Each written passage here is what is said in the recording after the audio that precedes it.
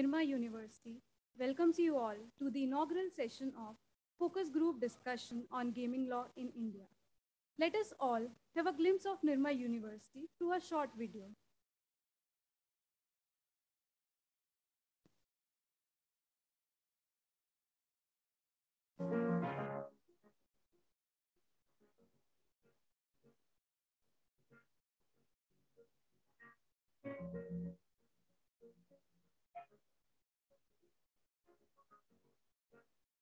A university is a knowledge enterprise that contributes to social, political, economic, and scientific development of nations and society. And we at Nirma University, with our Honorable President, Dr. Karsan Bhai Patel's vision to contribute to the development of the society, strive to build a strong foundation for our country's bright tomorrow.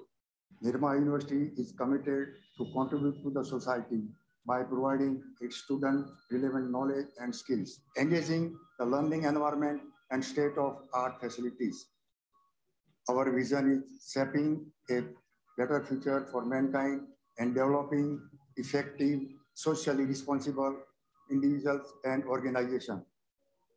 Our academic and administrative systems work toward ensuring the achievement of our mission.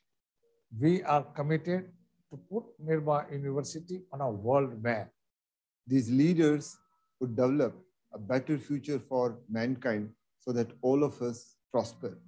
Nirma University is also developing as a research university and it does cutting edge research and innovation. Nirma University was established in the year 2003 and has gradually, over the years, earned the stature of one of the most prestigious universities in India. What started as an initiative of Nirma Education and Research Foundation in the year 1994 went on to expand into being Gujarat's first self-financing engineering institute in 1995 and autonomous Nirma Institute of Management in 1996. Contribution towards excellence in higher education led to the birth of Nirma University in the year 2003 through a legislative process and it became the first private university in the state of Gujarat. Nirma University then went on to create a faculty of doctoral studies and research in 2004 to promote doctoral education, contributing over 350 PhD graduates till date. Over the years, we have developed programs in the fields of technology, management, pharmacy, science, law, architecture and planning, commerce and design. Nirma University is recognized by the University Grants Commission under Section 12 of the UGC Act. The university was awarded an A grade in 2015 by National Assessment and Accreditation Council. The Institute of Technology is known for producing high-quality engineers through its various departments. It is well known for imparting quality education, conducting applied research, and in nurturing students for their holistic development. Continuous evaluation, blended learning, choice-based credit system, industrial visits, industry projects, expert lectures, soft skills development, and critical thinking programs aim to nurture the students for a brighter future and enable them to shine in today's competitive world. At the Nirma University, we get an overview of the academic world as well as the real world. So basically, this university breeds knowledge and equips its faculty with every tool that is required to develop and groom our students.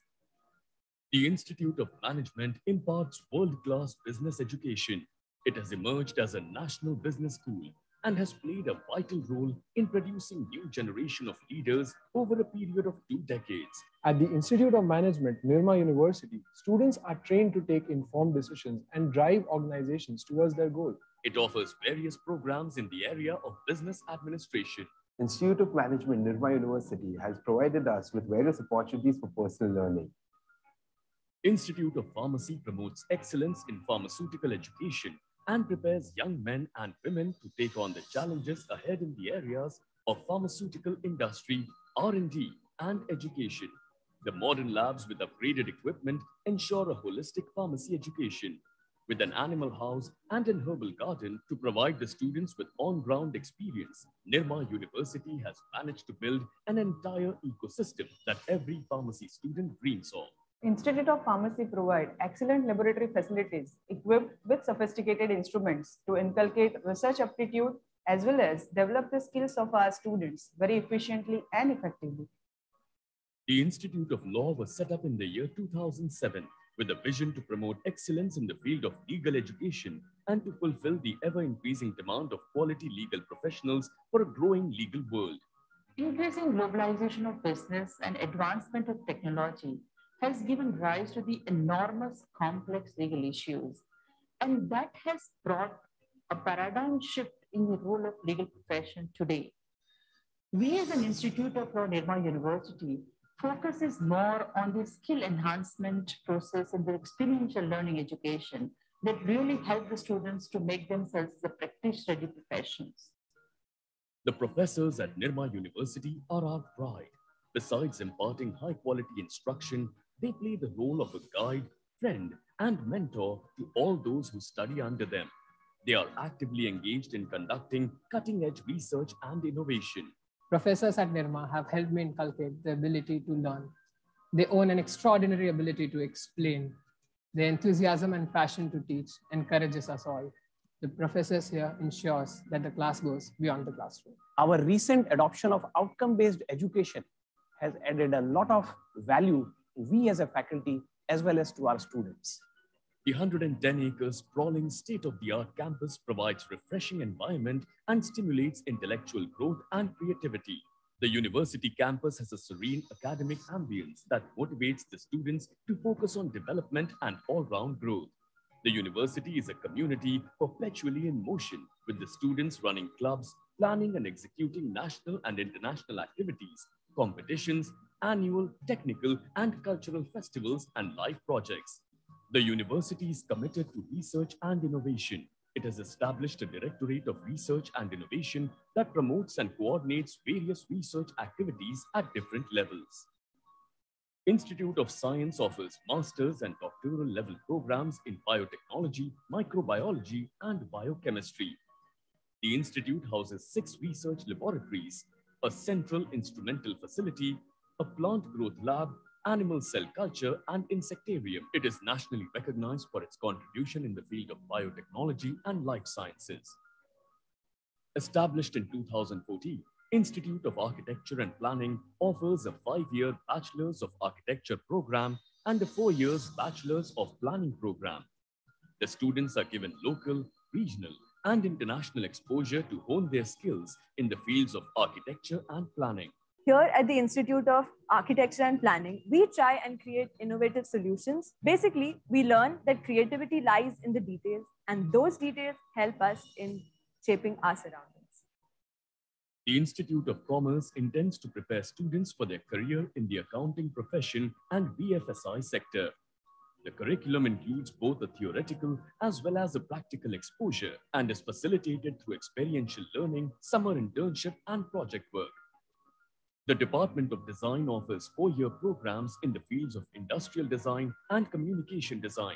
It aims to encourage creative thinking that is inclusive, sustainable, and exciting. Nirma University is equally committed to the employability and employment of the students. All the institutes of the university have active placement cells that train the students for jobs and organize placement activities in reputed companies. I believe that my decision of joining this institution as an engineering student was the best decision I made as a teenager. And that has changed my life ever since. Nirma University is closely networked with its different stakeholders. For example, it has, among others, active MOUs with ISRO, IPR, and PRL for research. It has MOUs with a host of universities in the different parts of the globe for student and faculty exchange and joint research. Its students are absorbed by companies like Goldman Sachs, JP Morgan, Accenture, HUL, Amazon, Novartis, etc. The central goal that Nirma University stands for is to provide a stellar education and lifelong learning skills and the means to do so effectively to all its students. For me, Nirma has been a monumental milestone towards my goals, and for that, I will always be grateful. The university strives to bring about a positive transformation in the lives of its students and enables them to become independent, confident, and self-sufficient citizens.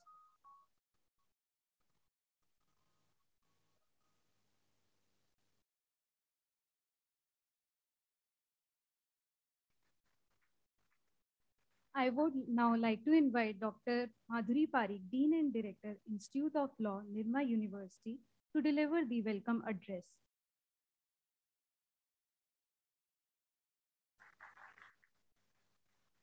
Thank you, Nandini, for inviting me. I'll just take two minutes time because uh, uh, Honorable Justice Sikri sir has already joined us for the session. Um, let me begin this with uh, acknowledging the support of all of you. And I warmly welcome all of you to this campus. We have with us today Honorable Justice Sri A.K. Sikri sir, retired Judge Supreme Court of India. Equally esteemed Dr. Anup K. Singh sir, uh, Director General, Nirma University. We have uh, esteemed uh, Mr. Maulik Nanavati, Advocate, High Court of Gujarat with us. We have very respected speakers with us, expert speakers who are going to contribute in uh, both the panels today. We have Mr. Gopal Jain, Senior Advocate, Supreme Court of India. We have Mr. Sambhu Singh, retired IAS officer associated with Ministry of Home. Mr. Nandan Kamath, Principal Lawyer at Law NK. Ms. Ranjana Adhikari, Partner IndusLaw Mumbai. Mr. Anwar Shirpurwala, CEO of Federation of Indian Fantasy Sports. Mr. Sunil Krishnamurthy, General Secretary of All India Gaming Federation. Mr. Amrit Mathur, Advisor to the Federation of Indian Fantasy Sports. Mr. Rahat Khanna, Head, Public Policy Initiatives for Games 24 by 7, India's largest multi-state gaming company. And many other invited speakers and invited guests. Dr. Jitendra Kumar, Dr. Arun Prasad, Dr. Anand Kumar Shinde, our heads of the department, uh, my faculty coordinators, Mr. Abbas and Mr. Alokik, my faculty colleagues, dear student friends, and Ms. Manvi, uh, Mr. Vivan, and Ms. Aditi, uh, all who are instrument in shaping this event. I warmly welcome all of you to this focus group discussion, which we have organized in collaboration with Institute of Law and Nitigya Law Firm. This event is planned in three parts. Today is the first part. We are going for a focus group discussion on this emerging area. The second uh, event will be, will, will be shaped based on the perspectives that we will be getting today. That will be the second event will be in a form of conference. And the third event will be the outcome of both the events that is in a form of some published work. So we are going for a book uh, on the gaming law. So these three events we have planned in collaboration. And I hope that the discussion that, that, that will be taking place here on the emerging uh, issues uh, related to gaming law will be helpful to the students as well as to the uh, legal fraternity in providing some kind of clarity regarding the legal intervention in this area.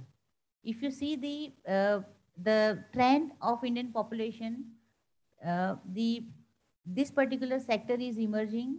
Uh, particularly, I would like to say during the COVID, uh, this uh, 19 uh, phase, and uh, the users, the participants in this sector are increasing. Very enthusiastic approach of Indian population can be seen in this area. There are certain gray areas wherein we need legal intervention, like there is no clarity regarding the skill and the chance-based games. Still, there are certain uh, doubts and ambiguities. Again, we are uh, following some uh, old laws which, which were framed during the British rule. Still, some laws are needed to regulate, not to prevent, because this is something a very economically beneficial, uh, you can say, the sector uh, as seen by uh, the government and the different stakeholders.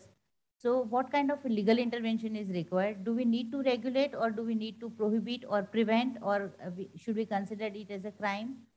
So these are certain gray areas wherein legal interventions are required. Again, uh, rather than state-based approach, we need some central law also, central policy also on this. I think the today's discussion that will take place will help us in, in bringing the clarity in which direction we should go. At the next event that we will be planning will be more focused with a concrete outcome.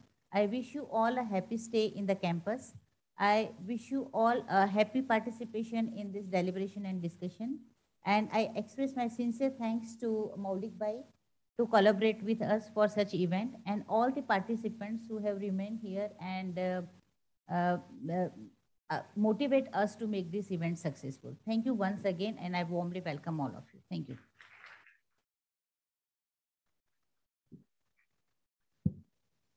Thank you, ma'am, for your encouraging words.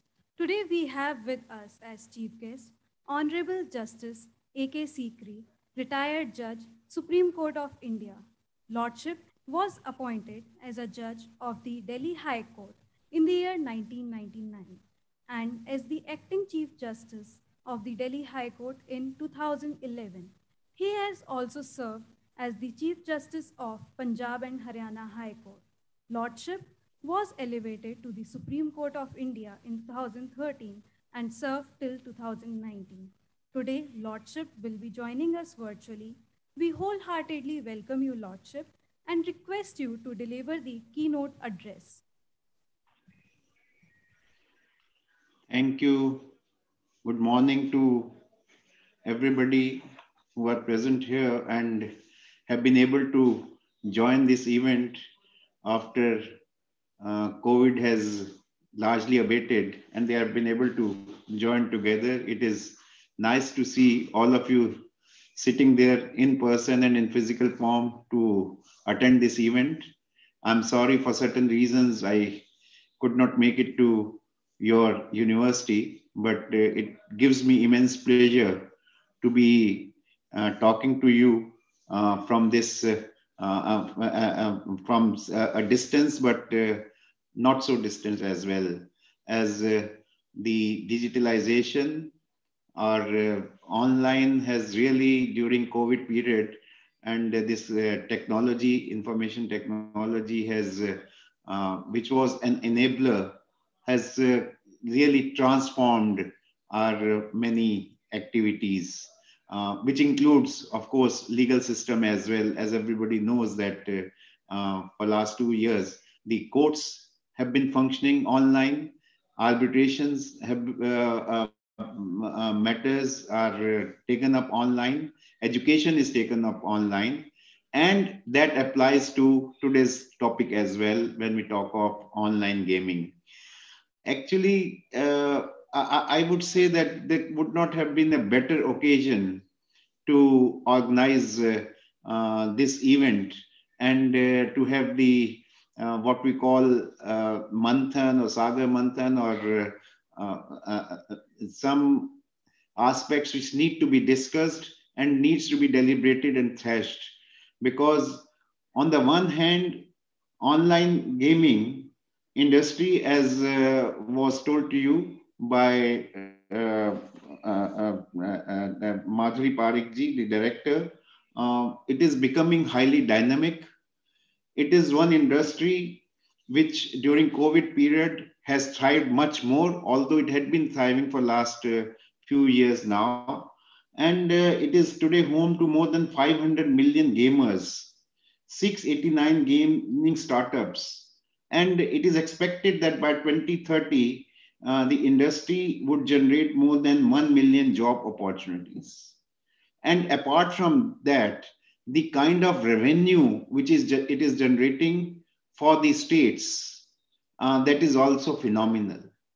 Why i am saying so in the beginning itself because when we talk of legal issues and uh, because that, that, that is the subject matter of the discussion and uh, um, uh which uh, are being faced in last couple of years insofar as this gaming industry is concerned there is a deep connect between law and economics and why the matter should not be looked into from the economic point of view. Of course, legalities and other aspects have to be seen in uh, the uh, uh, um, uh, under the lens of our constitutional provisions.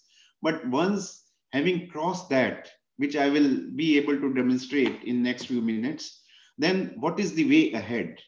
And uh, for this purpose, uh, this uh, today's event and uh, the in the sessions which would follow panel discussions, etc. We have uh, the great minds, including Mr. Gopal Jain, who is sitting here and who is involved uh, in this field of law from very beginning. We have Mr. Kamath and uh, others. They will, and we have uh, persons from FIFS, as I can see them uh, sitting on the front row, uh, who have great experience in this field and would be contributing a lot. But let me here in the beginning itself tell you one thing more that uh, uh, about two years ago, maybe a little over two years ago, Niti Aayog had also um, uh, uh, examined this issue of uh, uh, online gaming. And it has come out with a wonderful report. And report not only tells about what the online gaming is, and but at the same time how it can be regulated, etc. And the various issues that uh, surround this online gaming. Now, the question which uh, uh, arises in the very beginning is, okay, we are discussing about online gaming and uh, why I'm saying so, uh, uh, as I will revert to that very soon, because there have been the online gaming is the subject matter of judicial decisions, so many judicial pronouncements which have come in last few years. we start with the Public Gambling Act, which uh, was an act uh, uh, of, uh, I mean, uh, this uh, of vintage of 1867 during British period, as was disclosed to you earlier. And this Public Gambling Act, it prohibits gambling, no doubt about it.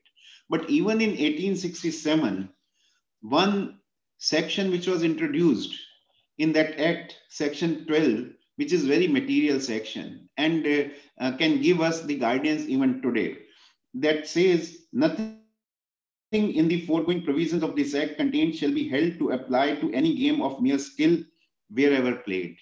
So therefore, the moment, I mean, gambling is prohibited, but the moment it becomes a game of skill, if it is a mere skill game, then it is not prohibited, then it is permitted. And this has been subject matter of discussion at various levels uh, uh, by the Supreme Court and uh, by the High Courts as well. And first, uh, uh, I mean, uh, I don't know, law students may have read about it when studying the Constitution or Article 19, which talks of fundamental rights, right to carry on business. Uh, uh, was the case of RMD Chamarbaugwalla versus Union of India, which was decided way back in 1957. And the courts very clearly, the Supreme Court very clearly said there in that case that as regards competitions which involve substantial skill, however different consideration arise, they are business activities, the protection of which is guaranteed by Article 19.1g.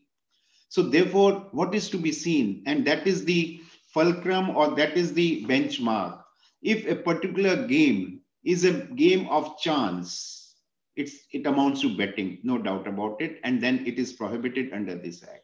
But if it is a game of skill, then it is uh, uh, uh it, it comes out of the purview of gambling, and that is permitted. Not only Section 12 says so, but our Constitution, Article 19.1g, also uh, protects such because right to carry on uh, business is a fundamental right. And restrictions on this right can be imposed only uh, uh, uh if there are reasonable restrictions and that too by law, as you all know, as clause 6 of Article 19 mentions about that. So therefore, any law which curtails or which imposes restrictions on right to carry on business has to pass the muster of of reasonable restriction. Because uh, uh, uh, uh, it will not be in 15 minutes time, which is uh, given to me, it will not be uh, Uh, uh, uh, possible to deal with these nuances in detail, but I would be flagging the issues so that these are discussed in the panel discussions. But then this law carried on and many games, including Rummy, etc., have been considered by the Supreme Court as game of skill.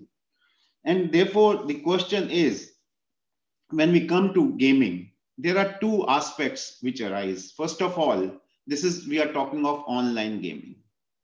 and online gaming, which uh, uh, uh, in 1867, when this act was enacted or this act remained, naturally there was no concept of online that nobody knew about it.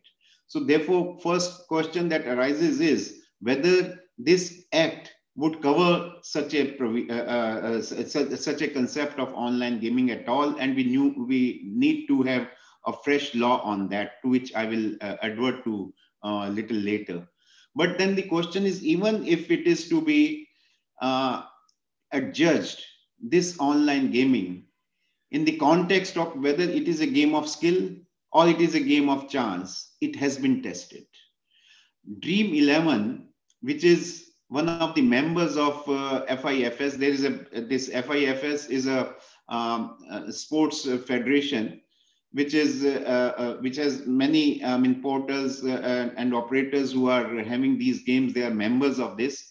Not all, but uh, most of them are members, and they have come out with self-regulations to which I will. Uh, uh, I mean that may be discussed during the panel discussion. But what I'm trying to say is that they conceptualized a particular in a particular manner in which the game is to be played so that it remains a game of skill only. And it should not be uh, uh, uh, it should not transgress the boundaries or lakshman rekha of that uh, game of skill and it becomes a wagering game or a game of chance or a gambling. Now it was tested. Actually interestingly at two levels the test which uh, uh, had uh, uh, uh, I mean, the, the, the, courts have been confronted with. One was if this per se, the game was treated as, as if whether it is a game of uh, chance or a game of skill. So three, four high courts decided this issue, Punjab and Haryana High Court, uh, Rajasthan High Court, and Bombay High Court, etc. They decided the issue and they very clearly said going into the each and every facet of that game, that this is a game of skill. And therefore, if it is a game of skill, then it is permitted because uh, it, it is the fundamental right of these operators to, uh, uh, uh, because it becomes a business insofar as operators are concerned. So they have a right to carry on this business and it is a game of skill. So this is the legal status. Once we come out with this legal status, interesting issue, which in the other context which arose was that some of the states particularly southern states of uh, the, uh, the country, they started passing the legislation, either existing legislation, amendment to that, or fresh legislation, where they said it may be now it, cannot because uh, let me tell you here one thing in uh, again some of the judgments of the high court matter even went up to the supreme court and supreme court also dismissed the uh, specially petitions and uh, in one of the case which is Avinash Mehrotra versus State of Rajasthan, which went against Rajasthan uh, High Court judgment, where High Court had said that it is a game of skill. The Supreme Court made these pertinent observations, which in a way should uh, put the controversy to rest. The Supreme Court said this matter is no longer res integra, as special leave petitions have come up from Punjab and Haryana High Court and have been dismissed by this court as early as on 15 6 2017 also from the Bombay High Court, specially petition have been dismissed on 4-10-2019 and 13-12-2019 while dismissing special petition against Rajasthan High Court. So they say it is no more res integra, means it has been given finality. But then what happens, notwithstanding that, a very, uh, I mean, interesting element which was brought into, as I was uh, saying by some of the southern states was, they said it may be a game of skill, etc. I mean, uh, because nobody could now uh, challenge that aspect. But what was stated that if money is involved in the game, then it becomes gambling. So the question, and very interesting question which arose, that if it is a game of skill otherwise, it is not a game of chance, because money is involved, I put stakes while playing this. Money is involved in game of rummy also, which was uh, held to be valid by the Supreme Court 50 years ago. But it say if money is involved, we treat it as a game of gambling. Uh, it is gambling and therefore it is prohibited. Now, interestingly, even these legislations were challenged and have been struck down by the courts. And uh, the two or three judgments have come, recent judgment uh, uh, uh about a month ago by Karnataka High Court, striking down these legislations on the ground that uh, treating it, fictionalizing it as a gambling by merely saying that some money is involved, then you are offending or you are violating Article 19.1g. It is not a reasonable restrictions, which uh, and these aspects would be considered. Now, in view of this, the issues which uh, arise, which I would say at uh, uh the uh, problem which is which has arisen or which is arising is that there is uncertainty. It no, it is a game of skill. There is an attempt on behalf of some of the states to prohibit it. Prohibition has been struck down, but then what is the outcome or what is the way out in such a situation? Because let us be very frank, one format of the game by Dream 11 as a member of FIFS, which has been approved by FIFS, has stood the judicial scrutiny, has passed the judicial scrutiny, has passed the muster, and after going to that uh, to the uh, uh, mechanism or the format of that game, the courts have held that it is a game of skill. But that may not be necessary because there may be hundreds and thousands of operators operating, and the, the it mean it is not necessary that all those who are operating are the, their format is such that it fulfills the criteria of game of skill. So there may be some where it is at the, uh, uh, uh, uh, I mean, they are at the borderline, or maybe they the format is such that it amounts to gambling. So therefore, in, in these circumstances, not each and every case would go and each every aspect would be touched. So therefore, what is the necessity? Necessity is to regulate regulation is very, very important. Although there cannot be prohibition, but regulation has to be there. Niti Aayog also in its report had said. But now the basic question or the more important question which arises is, if it is to be regulated, then what should be the mechanism? Because if you see, this is otherwise uh, a, a, state subject. The subject, uh, it is entry 34 of the state list, list uh, uh, in the seventh schedule, um, betting and gambling is a state subject. So it is now we are not talking of betting or gambling, or we are not talking of playing of this game in the uh, four corners of a room uh, or in a building. It is online gaming, which is uh, uh, the, the, seamless gaming, which because if uh, uh, a particular portal or particular operators is operating, the players may be anywhere, not only in India, in the world, they may be joining. Now the question is whether there should be different regulations or different kind of prohibitions in each state passing their own law in exercise of powers under article uh, uh, entry 34 or there has to be a uniform law so in a matter like this, where it is an online game and it is not a game where uh, uh, um, uh, one can uh, have the physical boundaries within one particular state, we need to have uniform law.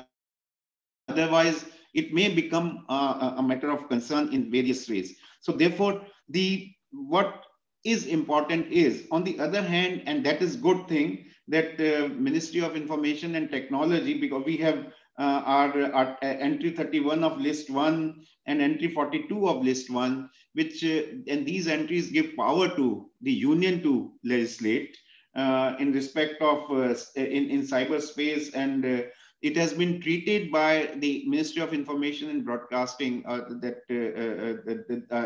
sorry this um, they, they are presuming or they have come out with this stand that these are in the nature of intermediaries. So under IT Act, they have a power to frame the laws. So the first question which may be, which uh, is arising today and which is the issue, whether such law can be regulated by the union, that is by the parliament, by passing an act, and this kind of regulations have been passed in recent, which uh, uh, uh, Mr. Gopal Jain is sitting there because he knows about uh, uh, the other industries also which are regulated like this, particularly OTT, which you know, uh, the OTT platforms and now the uh, films or any all other programs which are the uh, stream on the OTT platform. So the regulations have come last year, and regulators have been appointed. I mean, the, the mechanism of appointment of regulators. But the interesting thing is, which should be, that is self-regulation. We are in the era of regulation, but these are the industries where self-regulation, this is another, uh, uh I mean, aspect I'm flagging, which the uh, should be discussed uh, by the panelists that what kind of regulation should be there. And uh, so Mr. Gopal Jain, I think will tell you from his own experience about uh, such regulators. And under IT Act, those rules have been made. So whether under IT Act, these rules can be made or not. Now question here comes is, and very important issues which may uh, come up is of cooperative federalism. On the one hand, states would say they will not like to cede their power. They will say, no, we have power under uh, entry 34 of the state list. On the other hand, IT uh, under the IT Act, union may say that we have the power.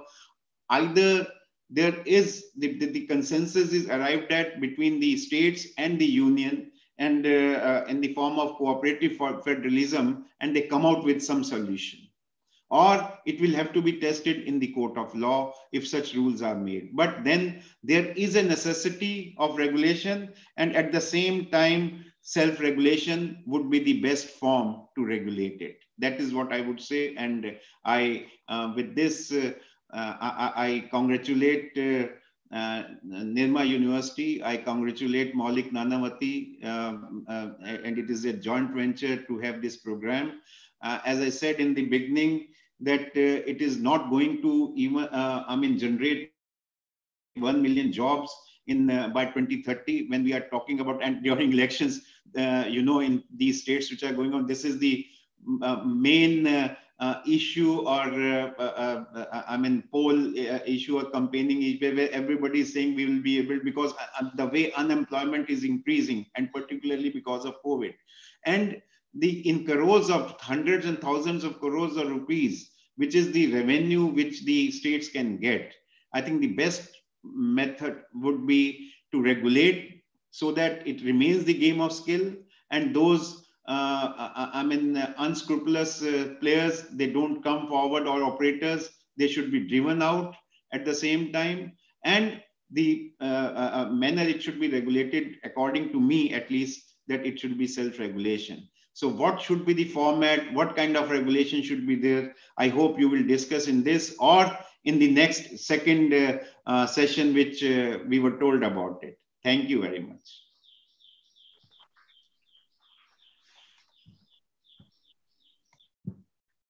Thank you, Lordship, for enlightening us today. Your words have left a mark upon us and will be a guiding factor for all of us here. Thank you, sir. Now, I would request Dr. Anup K. Singh, sir, Madhuri ma'am, and Maulik sir and Arun sir and Abhas sir to kindly grace the dais.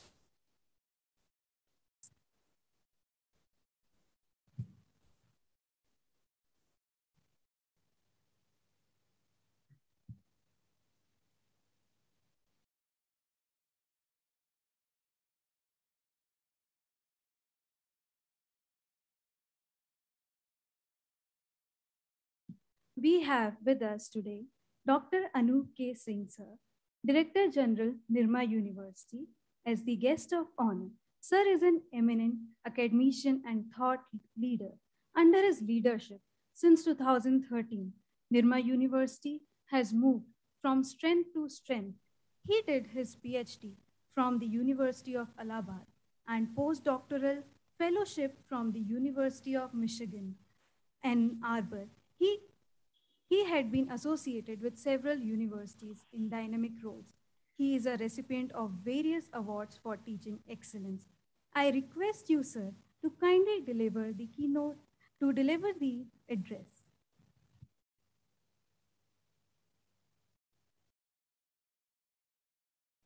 Mr. Nanavati, Mr. Srivastava, Professor uh, Parikh, experts, and dear students.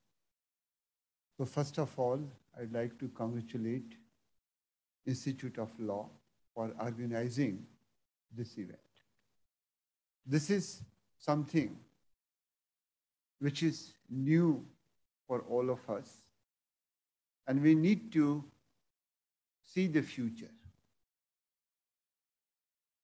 Today is also a very important day because after the pandemic, this is for the first time that, that we are organizing an event in this hall, right? So I feel really elevated. So good to see dear students and uh, friends. I'm also very glad that you are wearing your mask. Don't think the threat is totally gone. You need to be careful. All of us need to be careful.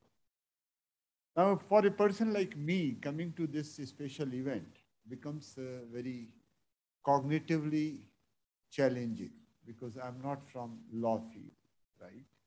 And law is highly cognitive subject. But, you know, as a psychologist, I would understand a little bit about game. And game involves three things. One is in any game you have a target, and then you have activity, and then you have dopamine. How many of you know dopamine? Raise your hands. Or many of you, right? So dopamine is very important, and that is reward, and it's, it's a good hormone. It gives you pleasure.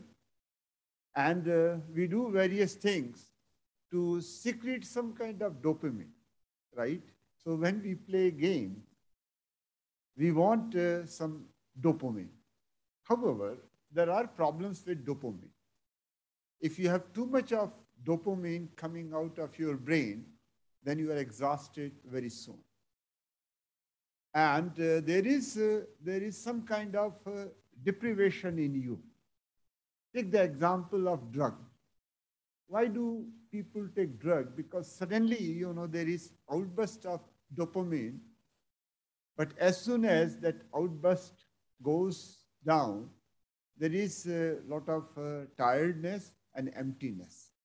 The same problem is with games, right? Whether it is physical game or it is uh, online game, if you play it uh, moderately, then uh, it gives you sufficient dopamine to make you happy, right?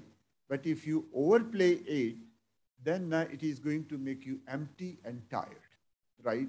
So along with the legal aspect, we also need to look into the moral aspect of gaming. And uh, since we have all the three federations over here, along with legal issues, they also need to raise moral issues. Now, there are four or five aspects of moral issues that we need to uh, address. Uh, the first is equality aspect, the fairness aspect. For example, the, the icon that uh, you are using in the game, whether it is gender neutral icon or not. For example, there is a, a game like Temple, right? So you find a boy is running, why not a girl is running? Or why don't we give an option, right? We can't have sexist game. The reason is that male mind and female mind, they play very different kind of games, right? So we need to have uh, games which can have appeal to both. We can't have sexist game. So that is one moral aspect of uh, gaming. The second is that it has to be, it has to be, you know, uh, egalitarian. It has to be equal for all, right? And uh, there cannot be injustice in it. For example, as you know, Justice Sikri was talking about, there cannot be an element of uh, uh, chance. When there is an element of chance, then uh, there is a, there is a lack of orderliness. And one important aspect of a game is a pattern, right? Whenever uh, we are uh, playing a game, We try to see the pattern and uh, then we respond to it. For example, he talked about rummy, right? When I was a kid, you know, uh, we played rummy, right? And we try to see the pattern and respond to that, right? So how to, how to create patterns which are equal for all. The third aspect is that any game is a social process. Some games are individual games, but uh, you know, even if we are playing it alone, there are other people uh, with whom we are playing.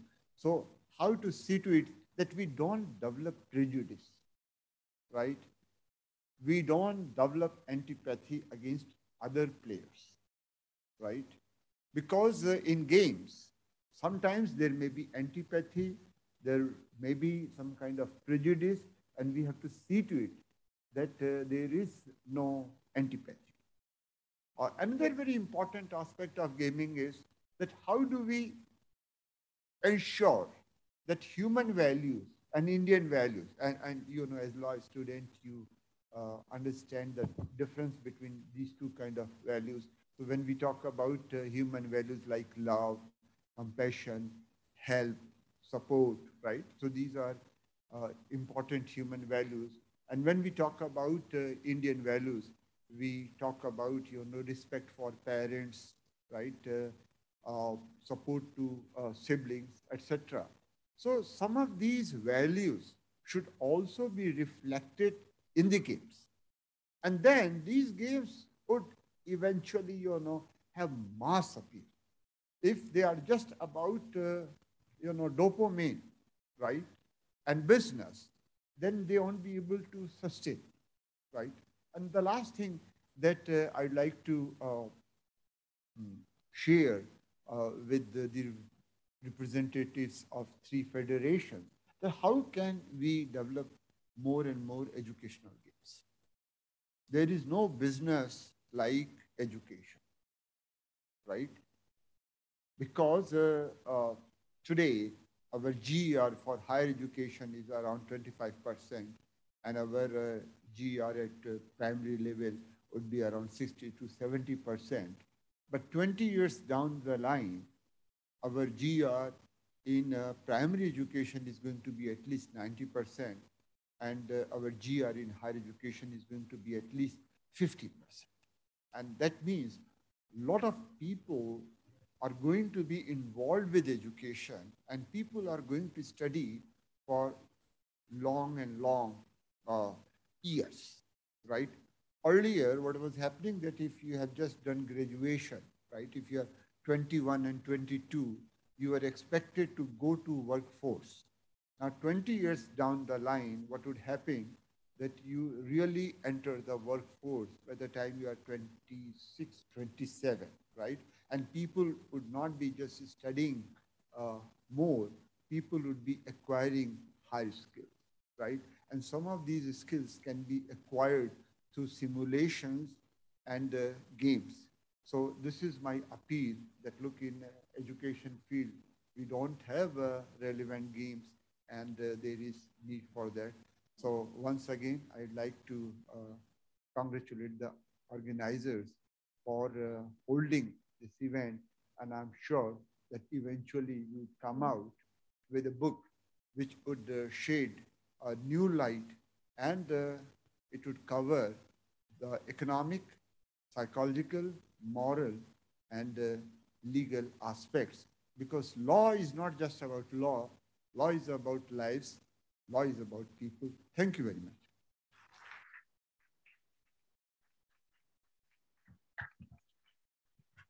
Thank you, sir, for your motivating words.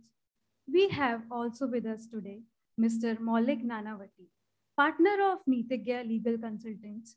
He comes from illustrious legal family and is himself an accomplished lawyer. Beginning his career as a criminal side lawyer, he has grown over the last 20 years and now has a widespread practice covering commercial, entertainment, environment, intellectual property infrastructure, and municipal laws. He regularly appears before the Supreme Court, other state, high courts, and tribunals across the country. He is also engaged as a special counsel by the state government, especially the state tax department. It was he who introduced the idea of having a roundtable discussion, and we are seeing it today being realized. I would like to request you, sir, to kindly deliver the vote of thanks.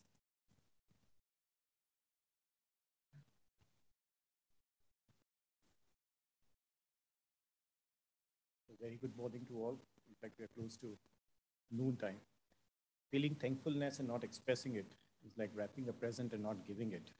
On behalf of my team at Nitigya, I would like to extend my heartfelt gratitude to Mr. Justice Sikri, uh, he had to actually leave because of an arbitration hearing, for taking out his valuable time and delivering a keynote speech.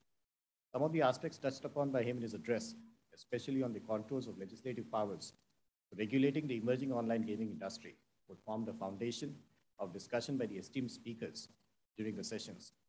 One issue that is highlighted in his speech about the concept of maximum government and minimum governance and need for bringing about clarity on the legal framework surrounding the industry is indeed thought-provoking and calls for serious consideration by the industry players as also the governments.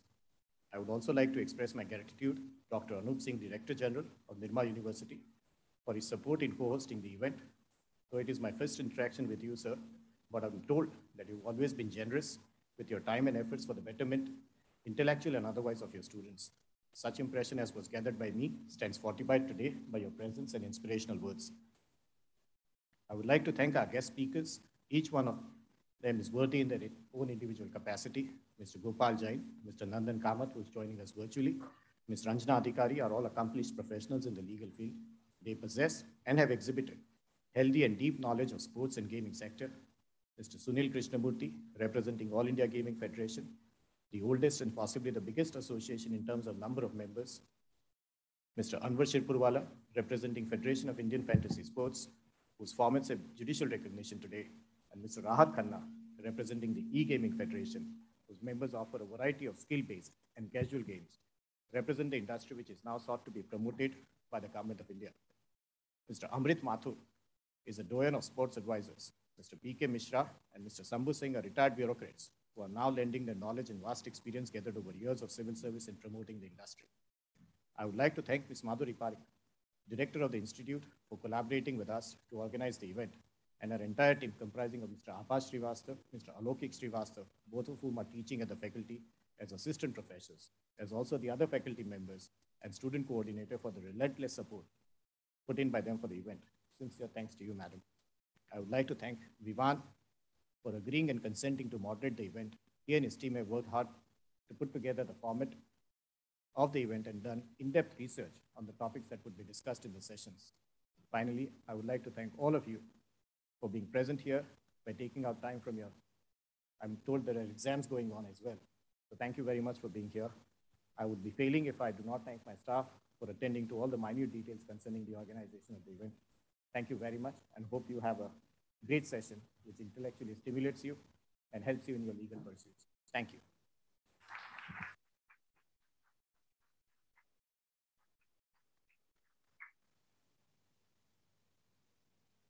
Thank you, sir, and thank you, everyone. Now, we would be soon commencing with panel discussion one.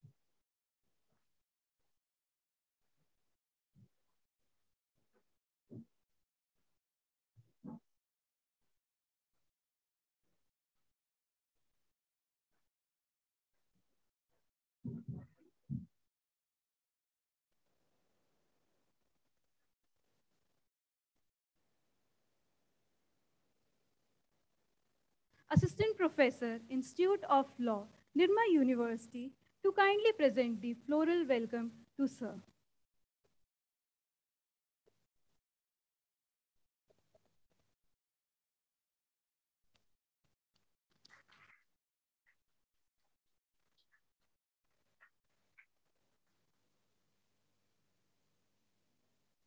We also have with us Mr. Shambhu Singh, who is a mission-oriented person with incisive in analytical skills and has tremendous experience in social development, rehabilitation, and counterterrorism. Mr. Singh is also one of the early birds in adopting ICT in the government. He has been passionate about India's domestic ICT sector development. He has had work experience in the development of the small sector in India, climate change negotiations in the UNFCCC education, forest and environment and infrastructure sectors, particularly highways, shipping and power. He superannuated as Special Secretary and Financial Advisor of Ministry of Road, Transport and Highways and Ministry of Shipping. I would like to request Dr. Vikas Upadhyay to kindly present the floral welcome to Sir.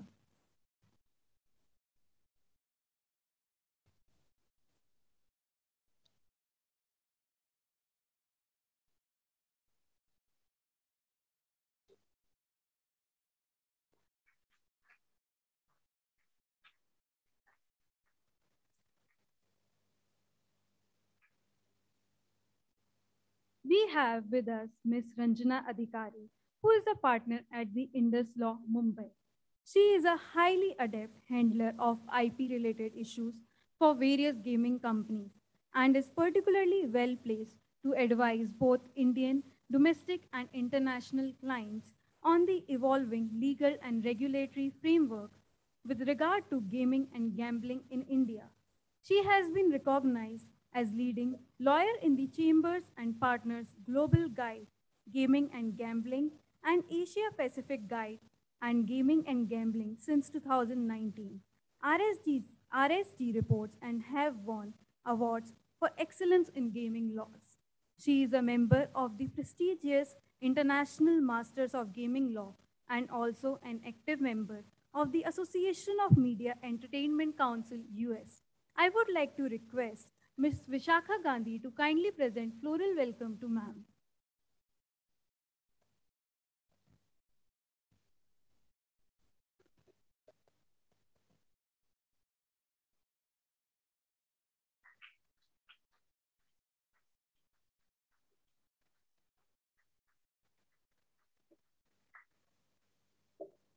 We also have with us Mr. Alokik Srivastav, who is an assistant professor at Institute of Law, Nirma University. He believes in the merger of academics with practical litigation and advisory experience and constantly strives towards the pursuit of this goal.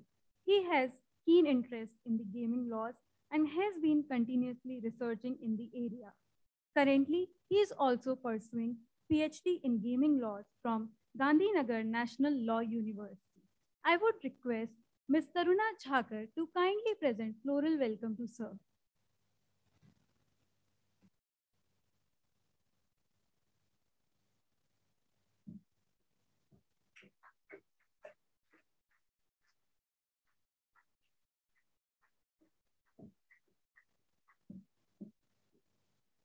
We also have with us today in this panel discussion, Mr. Nandan Kamath, who will be joining us virtually.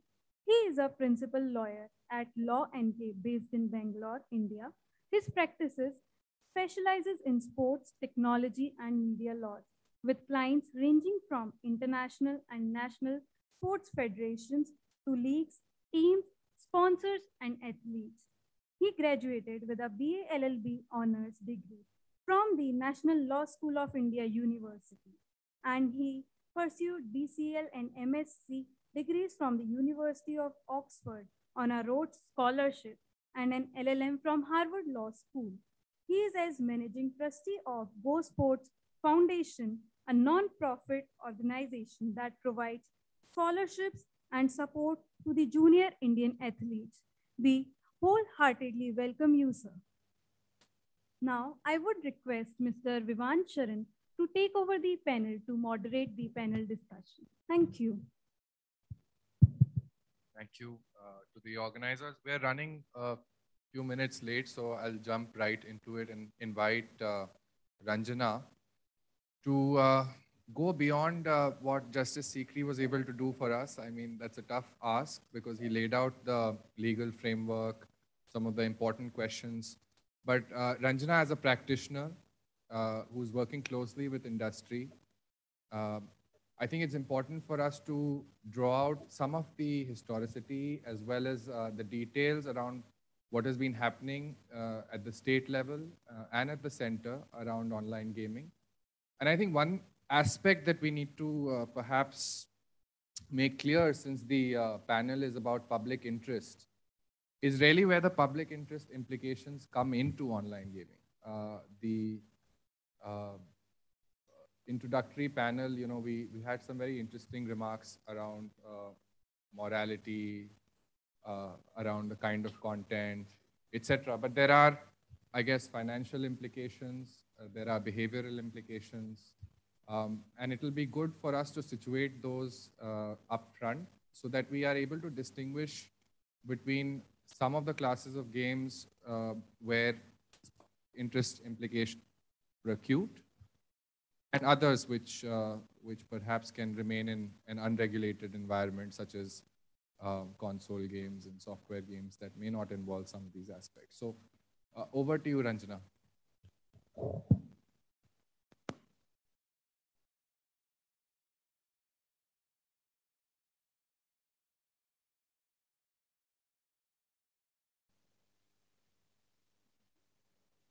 Thanks, thanks, Vivan. Um, and thank you everyone for having me here today. It's always nice to speak on this topic, but it's even better when you're talking to the future lawyers of the country on a subject which is close to your own heart. Um, so very happy to be here and talk you through some of them. Uh, Vivan's very right. It's uh, very difficult to, um, you know, even add on to what Justice Sikri's already probably told you all. But I think just for the benefit of everyone in the audience, I'm going to recapsulate very few points from there and make a few additions as Vivan requested. So as we noted in his speech, um, we are looking at a set of laws, uh, most of them being from the pre-colonial regime, and therefore being very brick and mortar um, centric. Uh, having said that, there are certain states, and let me name those states for you.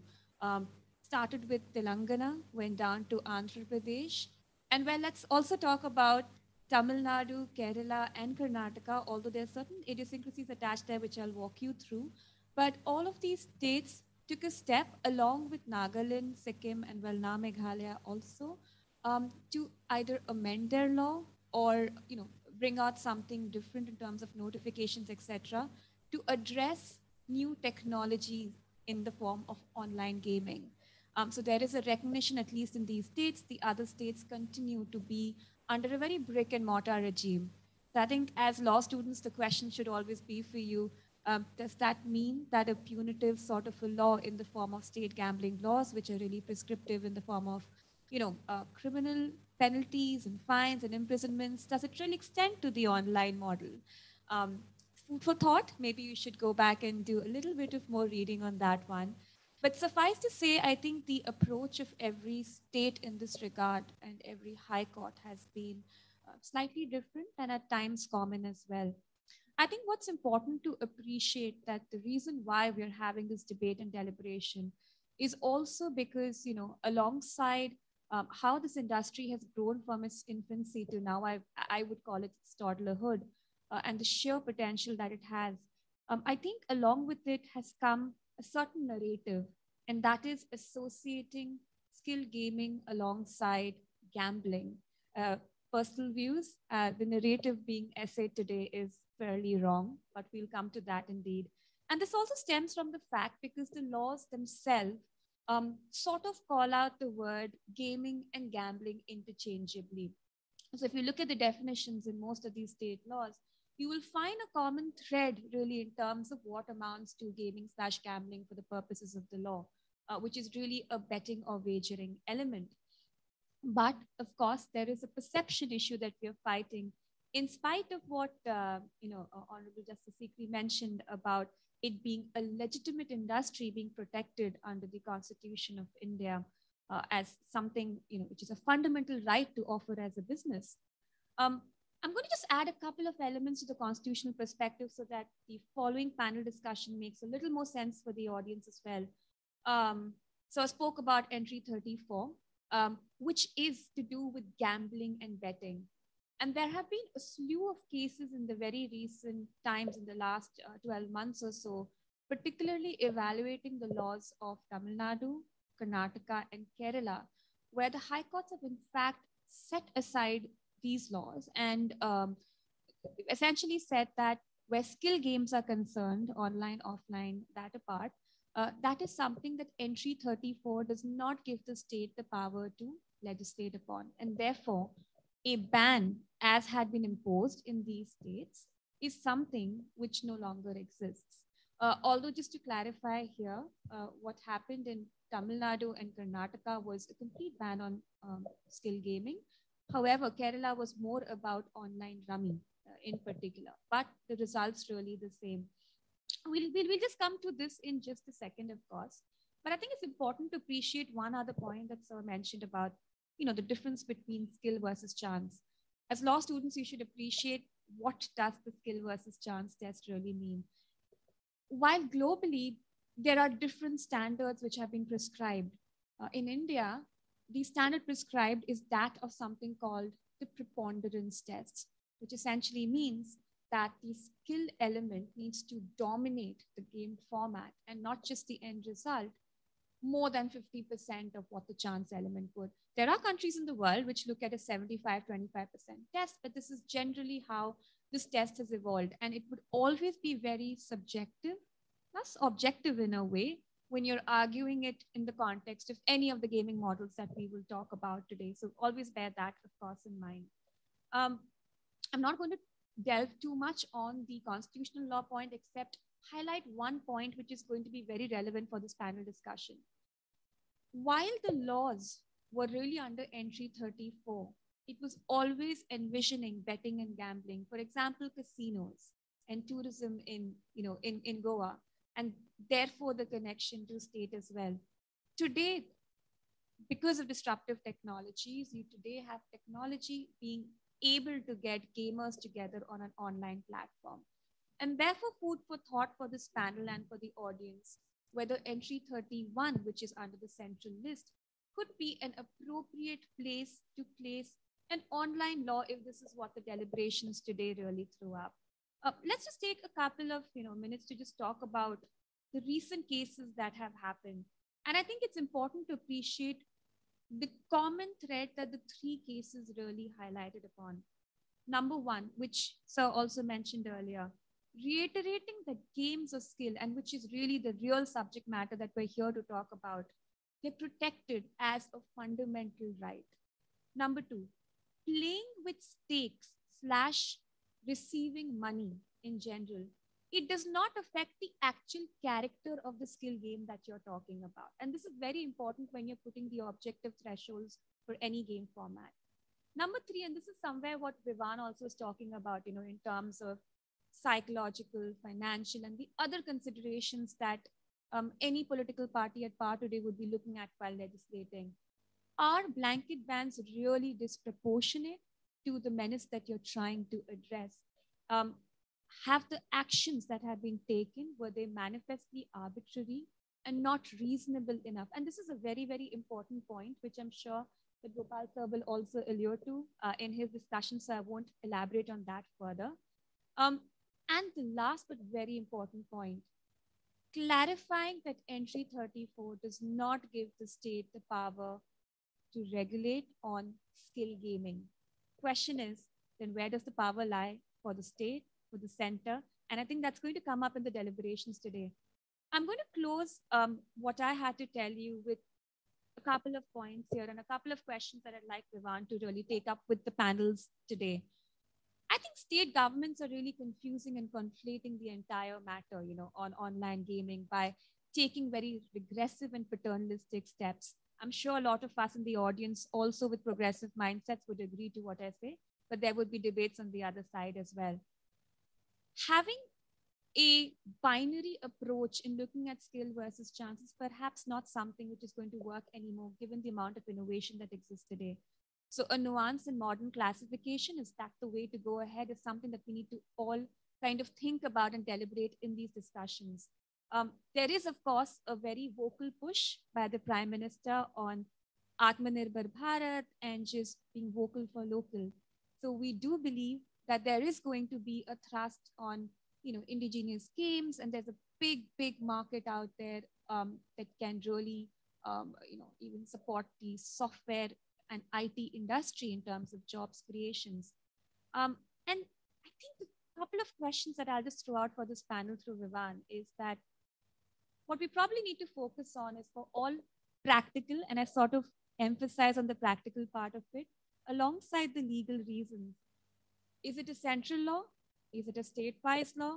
What would really work for regulating the skill gaming industry? Number two, if you're looking at regulation and not a ban, then what should be the principle and standards that you need to look at? And, and this goes to the heart of what Vivan mentioned about balancing consumer interest and protection alongside giving impetus to the industry for innovation so that it thrives. And number three, and this is the unique one to India, I can tell you this with all certainty in terms of international gaming legislations. Should we be following a light touch approach or a prescriptive approach like you have the US and UK follow, and have the existing self regulatory organizations that you have, the representation sitting over here, as a very important, um, you know, uh, people who are contributing to adherence and compliance and just getting the consumer confidence in this space. With that, really, Vivan, I send this back to you uh, to lead the discussions from here on. Everyone should learn uh, timing from you, Ranjana, because it was exactly 10 minutes. You were allotted 10 minutes. So well done.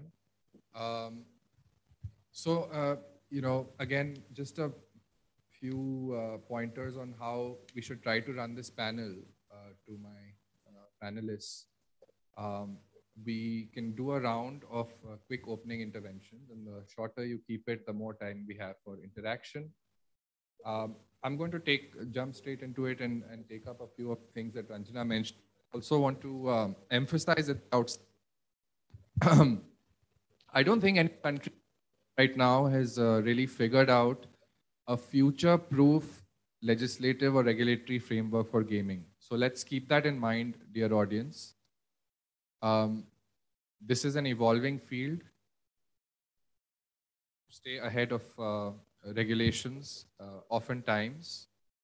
Um, and we do end up playing catch up. And therefore, looking at it from um, larger constitutional lens, as I will ask uh, Mr. Gopal Jain to kick us off with, is extremely important because it, it gives us a sense of balance, uh, you know, of uh, distancing yourself from the immediate intricacies of technology to looking at the implications on state, society, markets.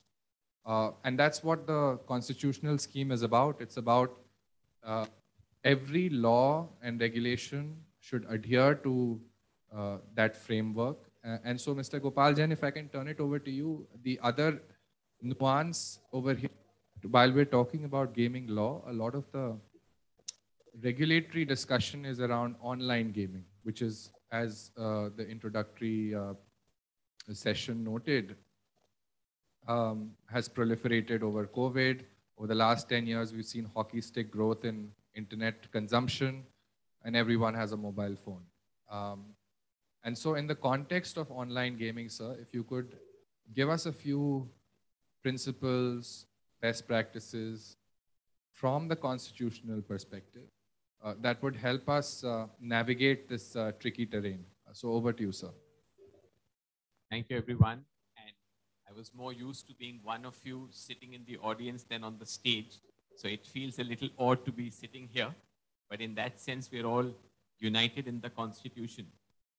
May I just begin by saying that our Constitution framers had great skill and foresight because they made the constitution a visionary document, a dynamic document with life. And they knew that someday governments, in the context of gaming, state governments would take a chance.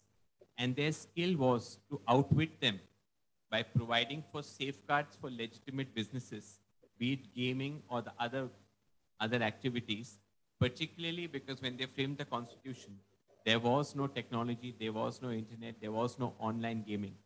So I must start by saying that all of us as students of law must appreciate the vision which they had and those protective rights which they enshrined in the constitution as what has come to the aid of this fledgling industry as well.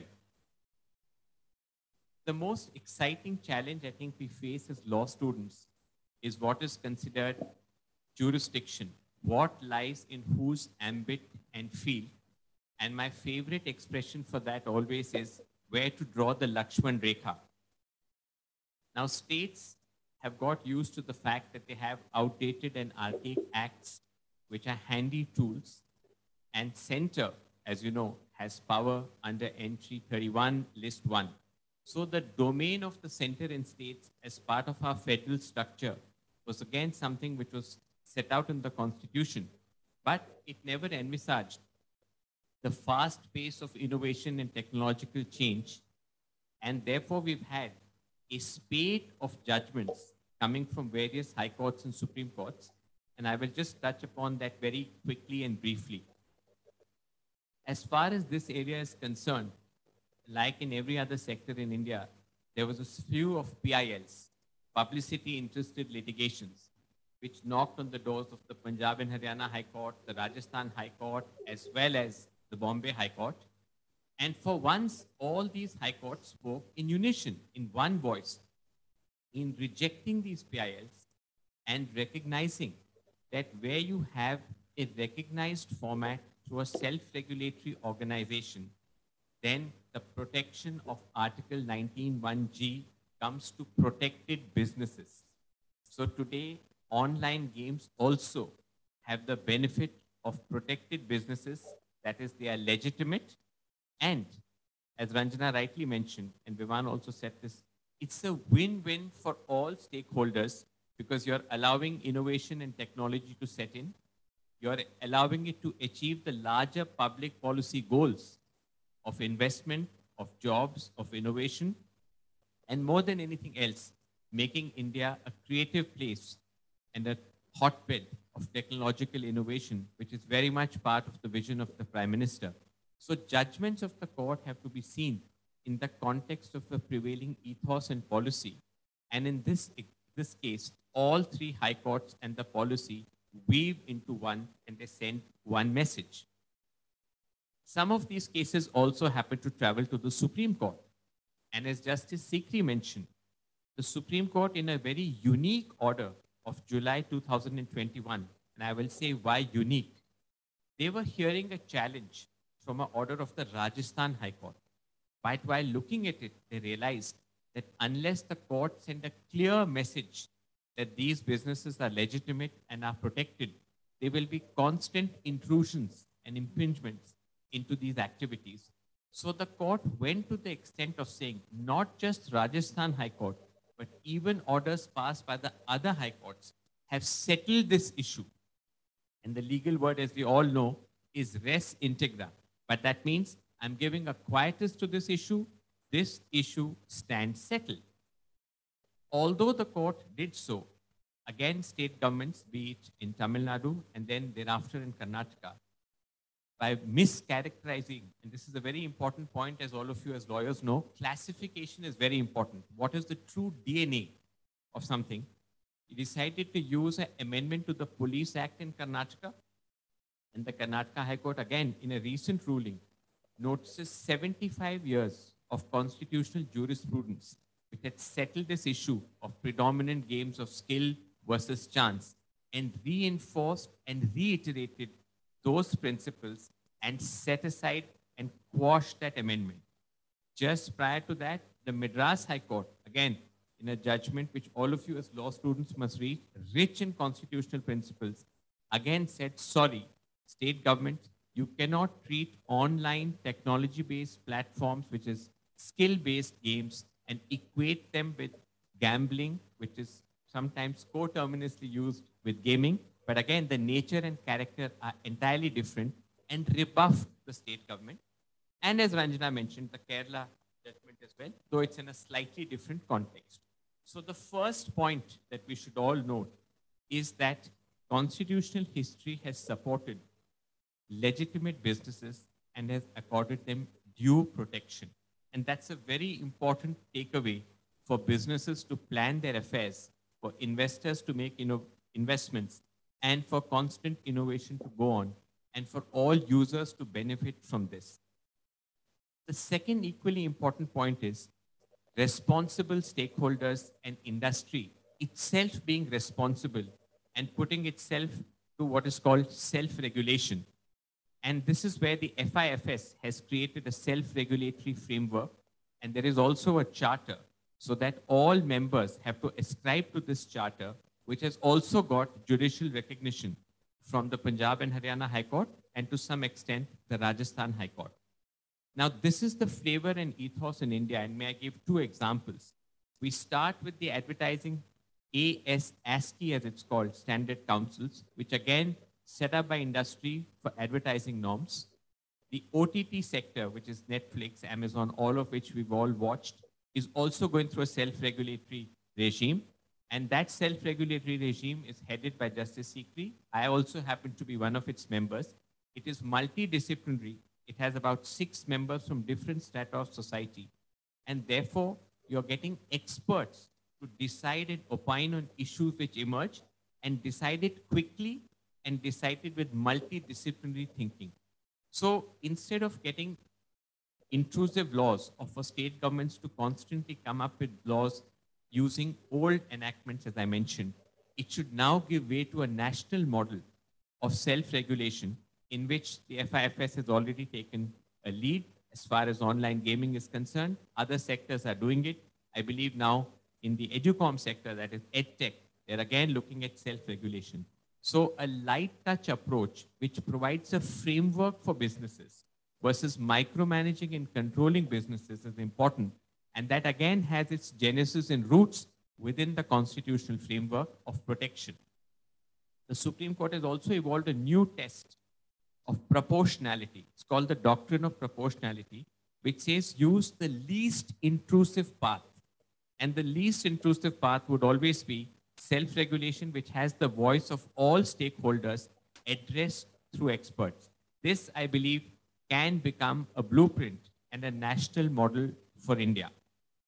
Third, as Vivan rightly mentioned, in the race between technology and law, technology is fast-paced, always outrunning the law. Therefore, the central government, through one of its ministers, made a recent statement in parliament saying that as far as online gaming is concerned, this will fall under the IT Act, which is the central enactment, and MeitY, the ministry, will be looking at it as a nodal ministry. Now, this we need to take forward because we cannot have multiple agencies looking over and fighting over the same turf because we want to avoid turf battles. That's why I use the word Lakshman Rekha, where to draw the line. And the moment we look at technology platforms, they're different from playing cards in a clubhouse. It is beyond territory.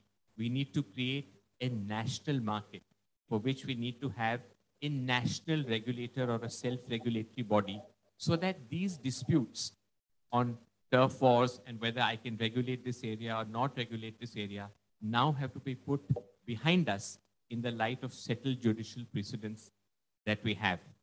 So I think future businesses require a future outlook and nothing better than students who are forward-looking and are future.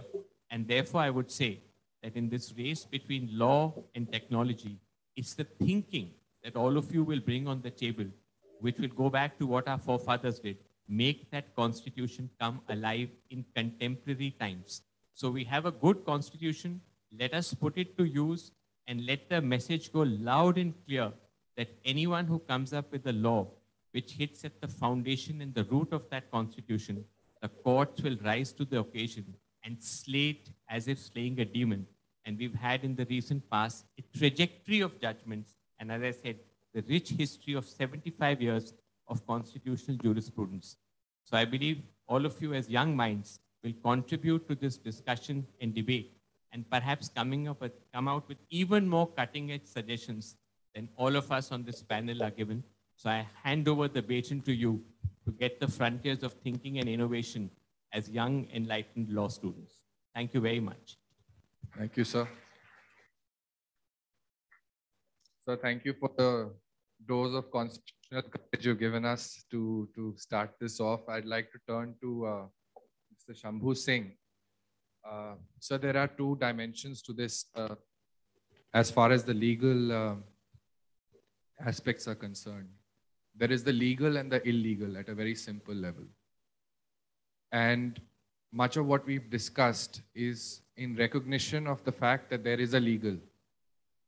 But I would like to turn to you, sir, as a, as a former bureaucrat who's uh, spent a long time in the police uh, establishment in, a way, in many ways, uh, who would have donned the enforcement hat many a time, to also dwell on the illegal, sir, because until you address uh, the illegality in this ecosystem, you can never settle public interest concerns. So, uh, what, in your view, sir, is the way to deal with this, given that there are center state coordination issues, industry state coordination issues, civil society and state coordination issues that will be necessarily involved in policing and making this uh, hygienic ecosystem for consumers and market participants. Over to you, sir.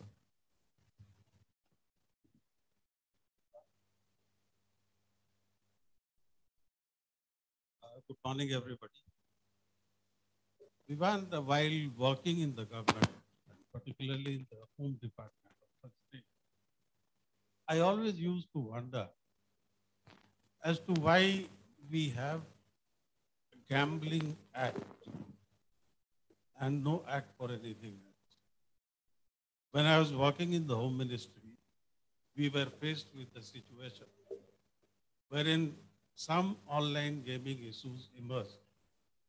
And we were to decide whether it is to be declared right or wrong.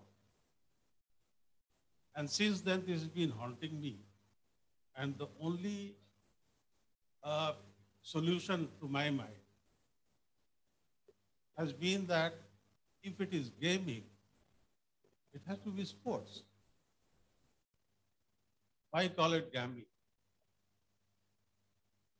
So my first action as a bureaucrat, if I was to act today, would be to transfer this from the Home Ministry or Home Department to the Ministry of Sports. First action. Second, once you have declared it as a sport and you still want to continue with the distinction between gambling and this sport, well, let us have that anti-gambling act, keep it a criminal activity. But when it is coming to what all the panel members also have been emphasizing, we also talked about, and when there is a self-regulatory mechanism, and you also create regulatory mechanism through a law, and quote unquote, as long as the online gaming remains within the four corners or the boundaries or the perimeter which you have drawn. Why should it be uh, controlled and regulated by the police? It should be a sports ministry business. And sports federation is already there. Second thing, which I have felt, I'm not talking on the authority of the government. It seems that the country is now at this juncture ready for a law. Uh, I, I, I reached this conclusion after having seen a gentleman called Mr. Uh, Narendra Bhai Damodar Das Modi. When he takes a decision and announces. it. You don't know why he has done it. But six months down or one year down the line, you realize the import of that decision. Now, anybody in this house, can they imagine that the banning of 50 Chinese games, Chinese apps, the decision was taken in a day? Is it possible technically to prove that these are dangerous to our national security? These invade our privacy? No. Must have taken at least five months with 10 teams working to reach that conclusion and enable the government to take that decision. And you were waiting for an opportunity. Proclaim happened and you announced. So the government seems to be ready as a part of public policy to get deep into it and to maybe come out with a regulation. That regulation cannot be brought under the existing 1860. So you need a law. And that law, since this concerns cyber and privacy issue, both of which are in the the union government. The union government will be 100% create a law regarding this and to create regulations. And those regulations must be very, very progressive. You can regulate, you major reason behind people getting agitated uh, with the online gaming is that the children tend to overdo it. That's why you have all the court cases coming up, complaints with the state government, resulting in various steps being taken and getting uh, thrown out of the court. Maybe a very bad example, but like China, we could put a limit three hours, four hours, five hours a week, something like that, and regulate it. On that point, sir, uh, the uh, the Chinese experience with uh, time limits hasn't been very positive, sir, because then it encourages the use of uh, circumventing. Multiple, yeah. IP addresses, you can change your and IP address. because of the kinds of uh, short circuits uh, softwares that you will employ to do that uh, can also encourage worse illegal illicit behavior online So anyway, uh, then I'm getting back to Dr. Singh's uh, advice, Indian value. We have to inculcate Indian values in the mind. So that they also become self-regulated. But from an administrator's point of view, my advice will be that let us request the government to define online gaming very, very clearly. Keep it in the union uh, uh, domain, bring out a law, create regulation, and let it be governed by a uniform law across the country. you. You on uh, the, the efficacy of this framework and how it can be strengthened with uh, state participation because ultimately you know state governments and local uh, authorities will also need to be involved in certain ways. Uh, but pick that up in the next round. If i can turn to you uh, professor srivastav uh, we had an interesting discussion over dinner yesterday um, around the binary that the legal framework in india has created.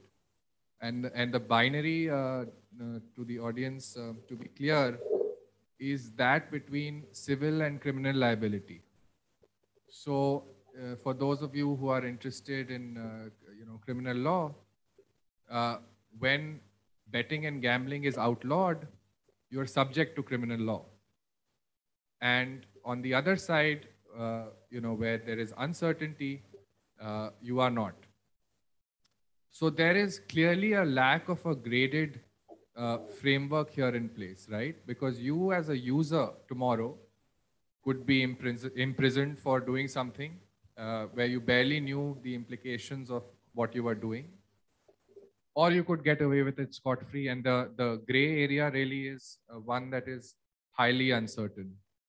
Now, there are two or three implications of this, Professor Srivastav, and I think particularly prominent is, aside from this uncertainty that it creates for users, is the implication on innovation ecosystems and how they develop. And this is the subject matter of your thesis, so I won't del delve into it and encourage you to unpack it for all of us uh, and, and shed a new light uh, on this issue.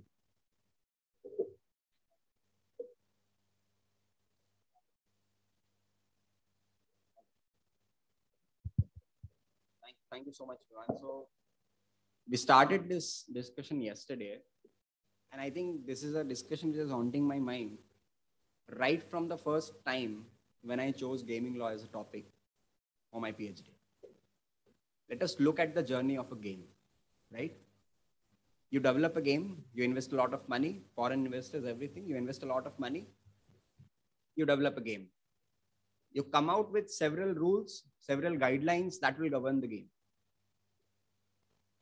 Then what happens is, unfortunately, gaming is equated with gambling. The first lens as to how we see gaming is that of gambling. So you need to ascertain whether it is a game of skill or a game of chance. So there are several categories of gaming, right? Casual games, card games, puzzle games, you know, to name a few, Temple Run, PUBG, all of them, what they have done is they have subjected the whole complexity of gaming to just this one issue, whether it is a game of skill or a game of chance.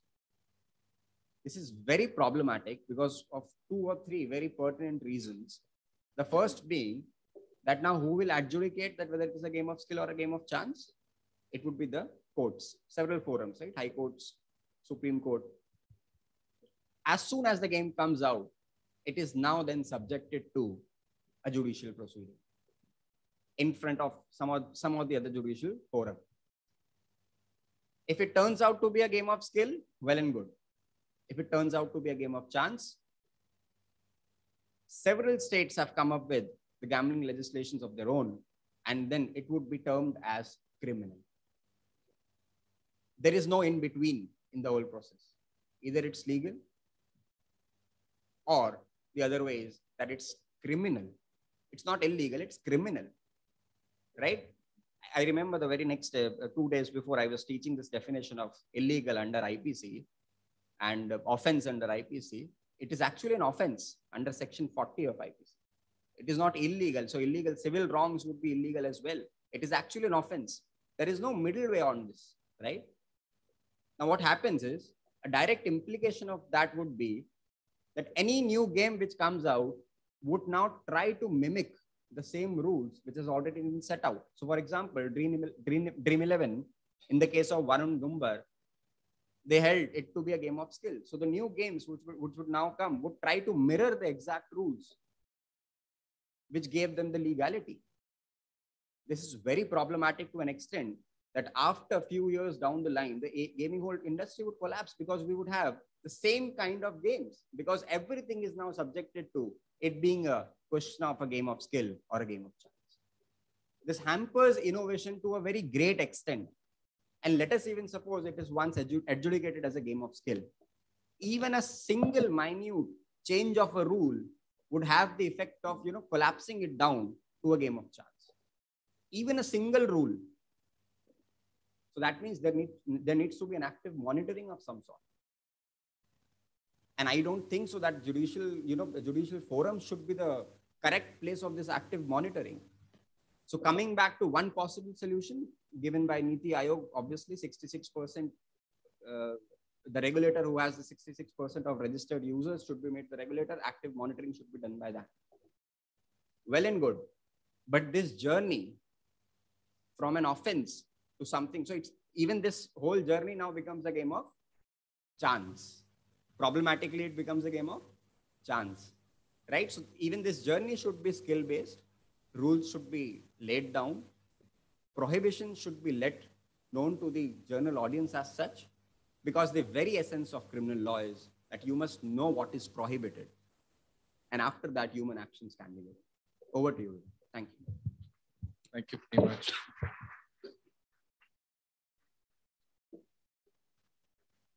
Um, Ranjana, before we turn to the others, if you could support us with a minor interlude of clarification. We're talking lot and schedules, and we're assuming that uh, all the students here are really brushed up on their uh, constitutional knowledge. But if you can just unpack the schedule seven, the entries, and what they actually mean. Let's stop using entry 31, 33, 34. Let's talk about the areas covered under these entries and the center state mechanism envisioned. Why was it that the center, Ranjana, has uh, a certain set of things like telegraphs, telephones, etc. under it? Why was there a need for standardization? And Ranjana, you don't need to be accurate to the T, but just to give us a, a sense of what these entries mean and why you think they were framed as such and why they remain today you know, resilient entries in a sense to, at least in the face of our discussion. Very quickly, two minutes if you can cover that, Ranjana, that'll give us more context uh, as the panel and audience as well. Sure. I'm going to first start by saying, Vivan, I'm not that old, so I don't know what transpired when uh, those debates happened for these entries. Um, but yeah, I think I already mentioned about entry 34. Everyone's well aware of hopefully your constitution law and you're aware that there are three lists which are there, right? The state list, uh, which is the second list really, has a specific entry for betting and gambling. Um, my, I mean, if you looked at the constitutional debates as well, uh, well, of course, there is some semblance of understanding of why betting gambling went to a state subject as well. Uh, betting gambling in the form of casinos or any other sort of a game format like you had um, dog races um, and things like that done more on a, on a rural sort of uh, uh, level. Uh, most of them were very local in nature, right? And for all reasons possible, the brick and mortar aspect as well, and perhaps combined with maybe a thought of tourism. I mean, that, that's that's my spin to it. But definitely the brick and mortar and the local aspect to it uh, definitely was a reason for it to form a part of the state list as versus, um, the central list. You should look up the constitutional debates, by the way, to understand this further.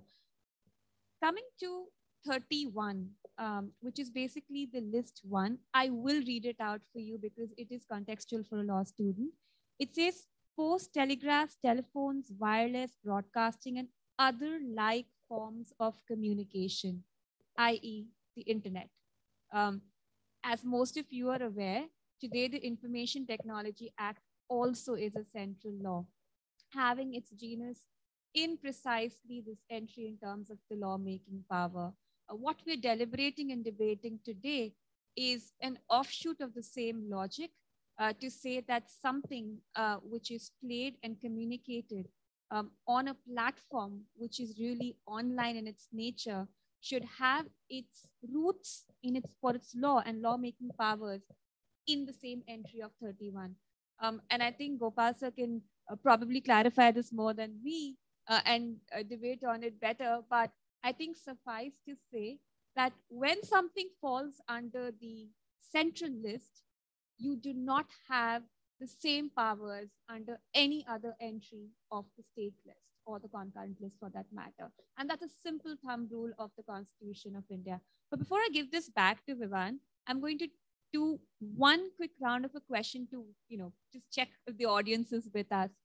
So how many of you have really played online games this pandemic in the last two years? Can, can I have your hands up? Wow, this is good. This is good. This, this is what everyone should see. My second question to you is, oh, you want to do that again? Okay, for the camera. So Put your hands up again to show how many of you played. Very good. Very good. This is, this is encouraging. All right. My next question to you is how many of you thought that you're gambling on these platforms? No, none of you? Oh, there you go. I, I, I'm not going to ask you which uh, sites you were on, but this is this is very important. This is very important, and I hope the camera is capturing it nobody thought over here that you're gambling. And, and this is the new age young electorate that we're talking about. Let me ask a third and last question. How many of you were playing those games thinking this is entertainment? Can I see your hands up again?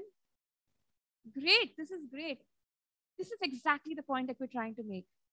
The narrative that the government understands and associates skill games with, casual games with, is diametrically different than what the public opinion today is. And back to you, Vivan.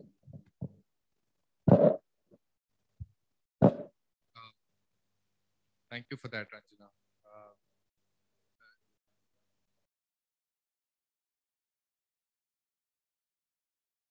can, can Yeah, am I audible? I just wanted to add one line. All of you represent what is called by the people, for the people. So when we say a living constitution, that's what it is. You have spoken in one voice, and no entry can ever eclipse what you've done. So that's why it's by the people, for the people. Thank you, sir. Uh, Mr. Singh, uh, you wanted to add to uh, what Ranjana was saying, but I also wanted to turn to you uh, with another question, which you can perhaps take on after this, which is the all important question of cross border enforcement. Now, you've spent some time in the Northeast, sir. You know about insurgencies and you know about uh, the problems associated with borders, and digital doesn't follow borders you know, while there may be a splintering of the internet across some nations, I think uh, you can reasonably expect that uh, the Committee of Democratic Nations uh, will continue to share a veritable global internet. In that circumstance, how do you as an enforcement official or ex-enforcement official really view this uh, playing field? How do you regulate it? How do you regulate the illegal and illicit that comes in through uh, international channels? Um, and any templates that you think can be applied here, extrapolated from, uh, would be welcome. One thing I wanted to add what Ranjana was explaining about that entry 34. A very simple explanation. Law enforcement is state job. Center doesn't do it. And anti-gambling act is an act to be enforced by the states, and hence that. That's it. Nothing more than that. Now, when we come to this uh, international aspect, Vivan, you have put me in a real, real quandary. How do I uh, talk about it? Because uh, A, we don't have a privacy law in this country yet. Once you have a privacy law, you can create enabling provisions wherein either you ban or you start regulating what is coming from outside. At least at the pretext of safeguarding the individual's data, his transactions, his personal details. But as long as we don't have that law, we can do nothing. Uh, criminal activities and other activities, we can still do something about them by getting into the dark net and uh, whatever other activities can be undertaken. Gaming is something on which we can apply only privacy law. So you gave the example of the Chinese applications. They were banned under Section 69A of the IT Act. And uh, while the grounds for that are um, fairly different from what you would expect to exercise when you're uh, thinking about um, skill versus chance and such dichotomies, uh, do you think there is um, there is um, any sort of scope for looking at takedowns in a coordinated way between different central government ministries, Home Ministry, Sports, MIB, MeitY, um, perhaps even a few regulators. Uh, you know, is there a way for there to be, for enforcement of uh, legality in the online space in a sense, and therefore taking down the illegal fly-by-night operators that may be coming and defrauding Indian citizens? And I think all of you, uh, since Ranjana has started, started us off on this, uh, can I ask the audience, have you ever seen uh, an ad for a betting website? Have you seen Betfair, Betway, etc.? How many of you have if you have? So, sir, these are websites that don't have an office in India. They don't have a grievance process that can be applicable to Indians if they lose their money. They uh, are mostly operating through proxy wallets and uh, you know payment services that are not necessarily linked to them directly. So in many ways, some of them would be getting their money through Hawala equivalent channels. And yet 75% of the audience has seen these websites pop up in their normal internet browsing experience. And suppose they clicked on it and some law enforcement official was standing behind them, they could be in bars. So how do you police that, sir? See, again, you have to bring that certain kind of organization into action. Uh, there is no other way it can be done. So at the gateway itself, you have to have filters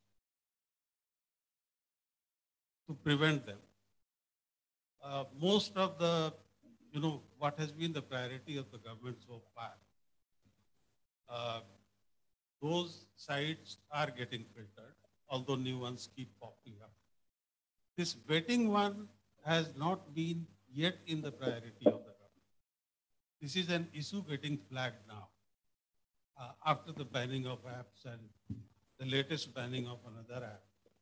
This is being talked about, how to go about. I think once this privacy law comes into place, a lot can be done through regulations and rules which will be framed subsequently. Preventing the whole thing 100%, I don't think anybody on this earth has got the capacity. Right, sir. To, to uh, Mr. Jain. Uh, sir, I have a couple of three, four questions for you. So rapid fire answers. And I know Nandan is also waiting very patiently for, for all of us to wrap up so he can uh, chip in. But uh, sir, there is a question also which links uh, uh, Mr. Anoop said at the outset in the first uh, session. I think it was very instructive to have uh, a non-legal, uh, non-industry view coming from a psychologist. And um, he brought back the attention to some of the issues around um, morals, around uh, Indian values, and so on. And therein lies a legal question, sir, of uh, the differentiation between content and carriage because the content that we view, dear audience, uh, on our games is regulated under a set of legal schemes that is very different from how the infrastructure that brings the content to you is regulated. So I'd like you to dwell on that, uh, sir, and what we can learn from there uh, uh in the framing of any new legal uh, provisions. Um, I'd also like you to reflect on, since we're talking about takedowns, it's unfair not to talk about the process of natural justice. So if there was to be a babu or a judge or someone sitting in judgment essentially about what is legal and illegal, there also has to be a process for a fair hearing and, uh, and a fair process of justice to play out so that it's not that the balance of power is only in the hands of the person who's complaining. We have a lot of people who can complain in India. Uh, so it, shouldn't be the case that businesses that may be operating legally, but uh, you know there is uh, there is a way of casting aspersions around, get blocked. And you know staying offline for even a couple of days may lead to erosion of value, may lead to violation of uh, constitutional protections and so on. So also to reflect on that balance, how do we build into any new legal framework as we move forward, sir? Thank you.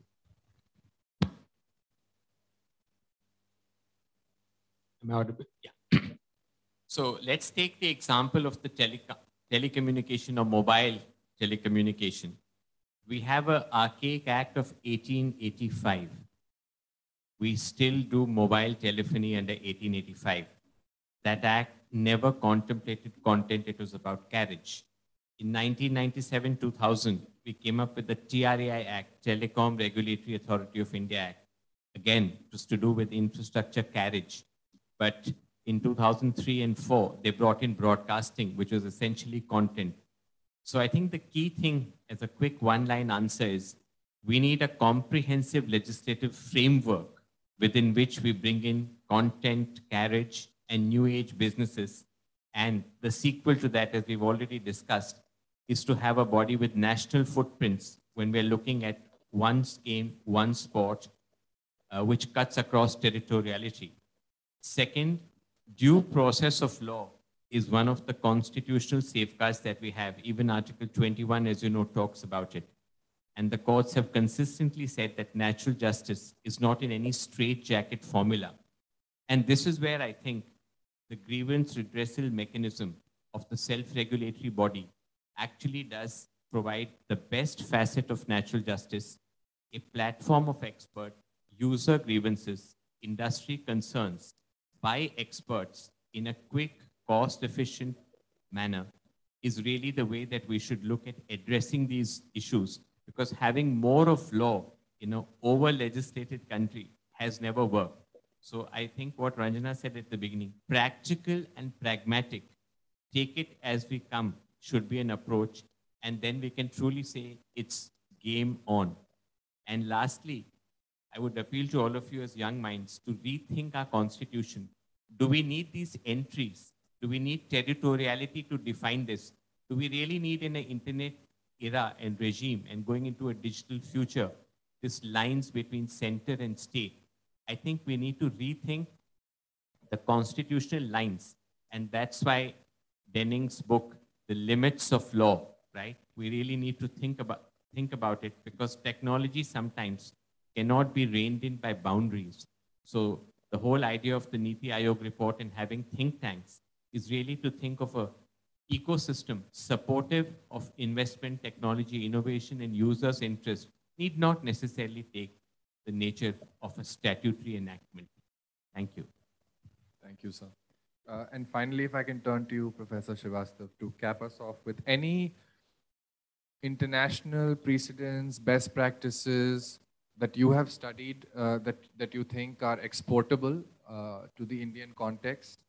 And also a question on whether you think addressing the harms that may arise in this uh, online gaming ecosystem is better done through identification of specific harms or in a, in a more general way, uh, as we are want to do and as we are trying even to do in the case of the data protection bill, wherein we are not necessarily dwelling on the very specific, we're trying to create catch-all frameworks for consent and so on and so forth.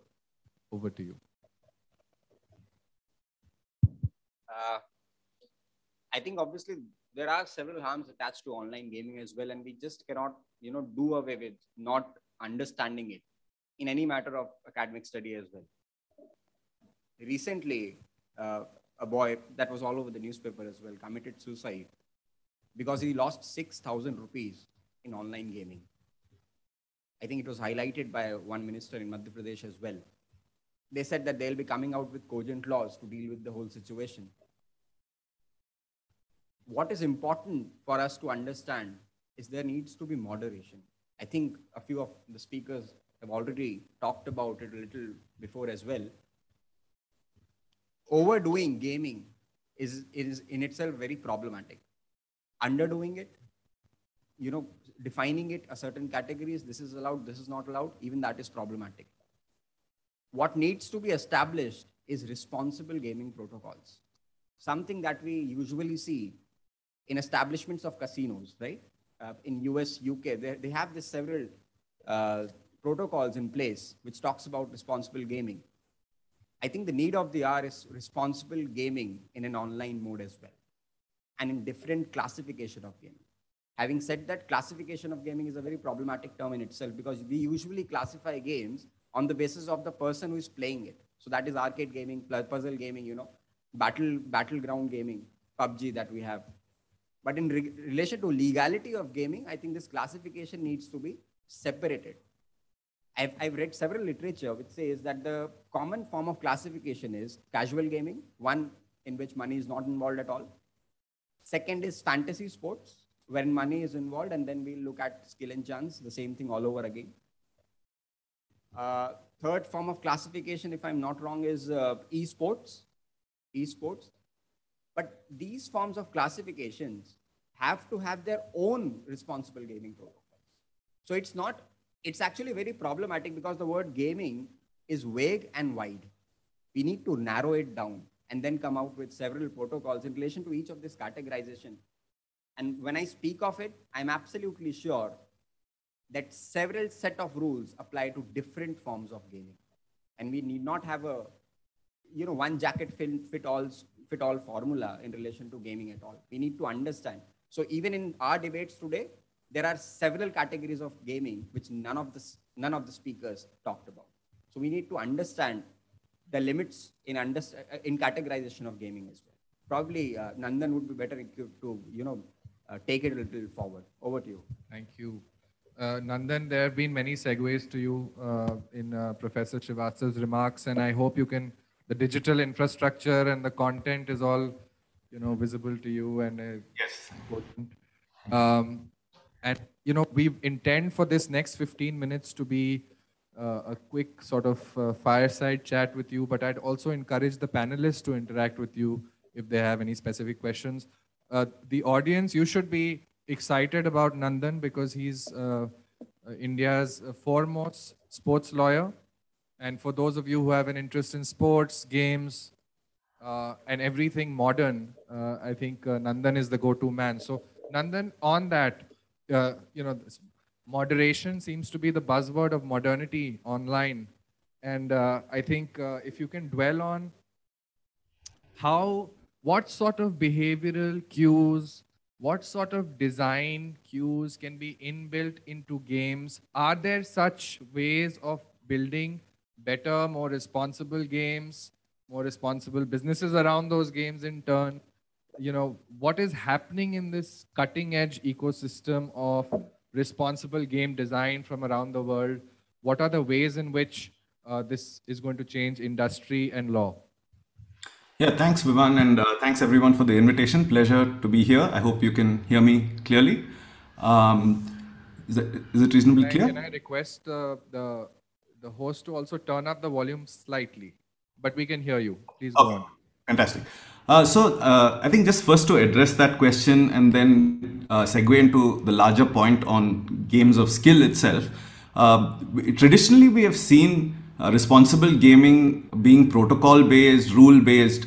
But as you rightly point out, Vivan, we have to look at also architectural solutions that help us get to where we want to be in terms of nudges, in terms of uh, alerts, uh, using data, using analytics. But, just to back up a little bit uh, to the discussion at a larger level on skill versus chance. And uh, I just want to go back a little bit here because a lot of the discussion revolves around operators, whether they are offering it for, for profit, whether there's money involved. But a very uh, recent Karnataka High Court judgment, I think, brought a very new uh, dimension to this, which I've been trying to advocate for a while, which is you have operators and people offering the games, but very little time is spent and effort is spent on understanding who is playing the game and their own rights and the right to autonomy the, the ability to play games, the, the freedom to play games. And at the center of this issue really is the future of what we consider valuable digital skills. And this is an important discussion to have because uh, we don't know how we're going to live 10, 15, 20 years from now. And I think Vivan, we were having the discussion on there might be a metaverse that uh, we populate for large parts of our time in, in the uh, in the day. And I think the last two years have shown how much more digital personas we have. And if you back up a little bit, and I'll just tell you a brief story. In the 1970s, 1980s, imagine something like typing. What percentage of the population do you think was had the skill of how to type? It would probably be in single digits. But I mean, is there a single person in this room who doesn't type today? Right? if I ask the audience like Ranjana did, she did a great job. There is not a single person in this audience who does not type today. What if in the 1980s we brought in a law saying typing is bad for the fingers and it causes repetitive stress injuries? So let us ban typing and let us ban typewriters as well. where would we be today? Uh, do, you, do you think we would have the similar ability to send WhatsApp messages, type out uh, your thesis, uh, answer exams online? So uh, it's a it's a simplistic um, the point to make, but the reality is today's uh, skills and necessary skills was something new and in some sense marginal in the past. And if we look at skill versus chance, why do we make that distinction? The distinction is that there are some things that are valuable to our society, valuable, meaningful things that can contribute back into the broader social good. And, and very often, I think the important point to make is the role of sports, the role of games. These are not just entertainment, but they're actually social cues. They are introductory ways to bring meaningful skills into the public domain. People are introduced to sports, games because they are interesting, because they are entertaining.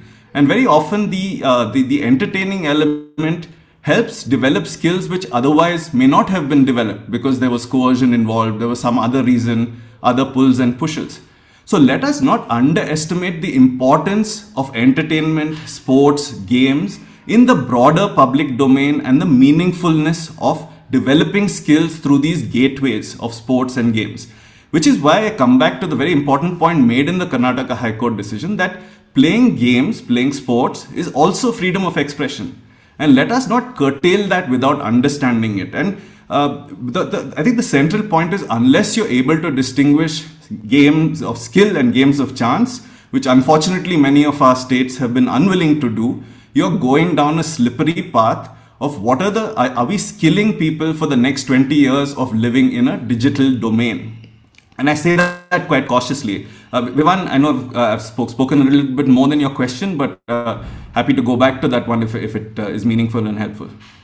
Uh, yes, I think it is meaningful uh, for us to understand the kinds of interventions that uh, gaming companies are making in, you know, reinforcing hygiene, good practice between players, uh, avoiding incidents around collusion and cheating, specifically also when money is involved. So we take your point on skills, and I think every one of us will agree that we just don't know what kind of skills we will need 20 years from now. And all of us are in a continuous environment. Uh, and, and this is one of those environments. But how do we make that environment safer? What kinds of things are companies doing? So we get a tangible sense of what is possible to be done. Yeah, so I think the technology exists today to sort of trigger uh, behavioral responses if uh, uh, artificial intelligence tells you someone is going down a, a, a dangerous path of spending too much. You can have uh, financial triggers which lead to uh, websites getting blocked, your ability to play getting blocked. I mean, these are all curbs on autonomy and essentially someone saying you are better off not exercising your freedom and to limit yourselves. What uh, number of laws have now brought in and the, the platforms have executed are simple things like essentially reinvesting winnings so if you win in an online game or some other context, you cannot reinvest that and play a new game within 10 minutes, 15 minutes, and other things. Or for that matter, if you lose. So this is essentially chasing uh, losses, chasing winnings. You can actually, in uh, the, the, code of the web website, the way you architecture your game can actually bring uh, what you would call nudges, cues, but also limitations on what many more broadly would consider dangerous behavior. And, and this uh, we have both architectural solutions, but also just for sort of financial game rules, right? You've, you've played for two hours, uh, there's a clock ticking and it says you're playing for two hours and like, like we have timers now on, on phones and other things which tell you you've played too much. Some of them are just simple nudges. The others could be actually blocking things to do, like I said, winnings, uh, reinvesting of winnings, chasing losses, trying to make up uh, and at the end of the day, this is entertainment and amusement. This is not about trying to make a livelihood or, or professionalize simple uh, entertainment tools, right? Uh, so I think we, we have to encourage ourselves to find not just uh, architectural and financial nudges, but also just what is the moral framework? What are we doing around games? Why do we play these games? And holding people to finding, uh, I think, balance and moderation in terms of where this fits in in your day, right? And that is where uh, this mix of financial, legal, architectural and moral solutions have to be in a fine balance. And if you overdo one, like using banning of games, you're actually uh, disrespecting the ability of the market to find solutions, the ability of technology to actually nudge you in ways that it can, and for that matter, the uh, the autonomy of users to even find their own balances. There, there is may not be a single balance or single limit for one person, which works for one person and doesn't work for another person. And then uh, on on this question of finding balance, sometimes it can be quite hard. Uh, and I suspect that uh, many in the audience uh, will experience the metaverse more than you or I in the future, just by virtue of having more years to spend that time. And we've seen already some instances in the metaverse where finding the balance or thinking of what is legal or illegal has become fairly blurry. These could also extend to the financial world where the use of, say, virtual assets, and I guess many in the audience would be familiar with cryptocurrencies, could be used to make microtransactions that could be then routed, uh, you know, could become channels for uh, illicit transactions, illegal transactions too. So, all in all, you know, risk-based regulation seems to be in order in this ecosystem. So, what are the ways in which you identify what is more risky behavior and control for that uh, versus behavior that uh, perhaps is less risky and and and you can weed yourself out of and so on and so forth so very much i mean i think also in the minds of uh, indian policymakers who are perhaps uh, at least those in the decision making category are not from the gaming generation so to speak they do think of games as sort of opium for the masses. And there therefore has to be a way of identifying heightened risks. And what are the best ways of doing those uh, kind of uh, mapping activities in the gaming ecosystem is something that we'd like to hear from you about. Yeah, I think it's an uh, interesting question and one that probably hasn't been looked at uh, deeply. And to me, uh, there there is a question of uh, Ranjana made the point earlier in terms of the why do we have gambling laws? Why are, in some sense, why are these laws state based? Because they were local and these were seen as public order offenses. If you look at the way that the law is structured, it was around having a public gaming house with uh, elements of sort of public gaming. And what it believed was that when you bring chance into the picture and you have these places where the public are going to try and play these games, and maybe gaining from chance, there might be a little bit of chaos around that. People hate losing and people hate losing when it's around chance. I mean, people accept losing if there's skill involved. So these were fundamentally public order offenses. There might be violence around that place. People like the mafia might surround it. And, and I think we have to recognize as we move to the digital world, we have to distinguish between things that harm the person, but also things that have negative externalities to other people and, and the, the public at large. So is there a public health issue? Is there a public finance and public skilling issue? And I think we have to think of it from that, that lens. Uh, the basic respect for the autonomy of the individual, I don't think has come into this debate until the Karnataka High Court decision. And we have to separate those two. If you're saying that the person is harming themselves, I think there's a lot of decisions which are very personal to each of us uh, me playing for seven hours versus someone else playing for seven hours is very, very different. But if my behavior starts having public external externalities, suddenly there's a public health burden where it affects mental health at a mass scale. You have people going out and becoming violent as a result. These are the reasons why you have uh, betting and gambling laws. When you move to the digital world, are these actually genuine risks? I mean, there are 10 people across India playing a fantasy sport what happens if someone loses? Are they going to go out and sort of uh, hold a dharna and, and walk on the streets and destroy some public property? I don't think that's the case, right? So contextualizing why you blocked it in a physical environment, when you move to the digital environment, are these risks real or are they perceived? Because a lot of our regulation comes from um, sort of conceptual harms. Oh, it must be really bad and so anecdotal. I have a nephew or niece who spends 15 hours uh, playing video games. So I should figure out how to ban this because their parents keep complaining. Now, does it mean that just someone playing for 15 hours, is that automatically a social public, or something that public law must look at? Or is it something that as a broader society we have to find other ways to solve problems? And in, in my view the, the recent spate in the last two or three years has just gone overboard where the state believes that I, I won't bother to understand the difference between skill and chance. I perceive these dangers. People are putting into the newspaper the fact that people uh, there's uh, there's some element of people taking their own lives. They, it could be may, maybe as a result of gaming may not be uh, but I'm going to ban not just games of chance, but games of skill when there's money involved. And I think the danger is in not making that distinction. And then if I can, uh, and the and, and and the other panelists, if I can provoke you, prompt you uh, to thinking about a world where uh, we move beyond skill and chance. What would that look like in, in a legal framework? I know, uh, you know, we would perhaps uh, not walk down that path anytime soon in India because there's been so much jurisprudence uh, behind skill and chance. But is there a world beyond skill and chance for, for a legal framework? That's question number one. And a short answer. Question number two, if you had to summarize in, in a bullet point for us, the role of the state, the industry, and civil society respectively in governing this environment what should be the top responsibilities of each to supplement, complement each other, and to make sure that uh, you know we move forward progressively, uh, you know, and future-proof ourselves uh, in this ecosystem. So if you can take those two on, and anyone from the panel who may want to address the beyond skill and chance dichotomy is welcome to as well, because that's something that I think confounds all of us.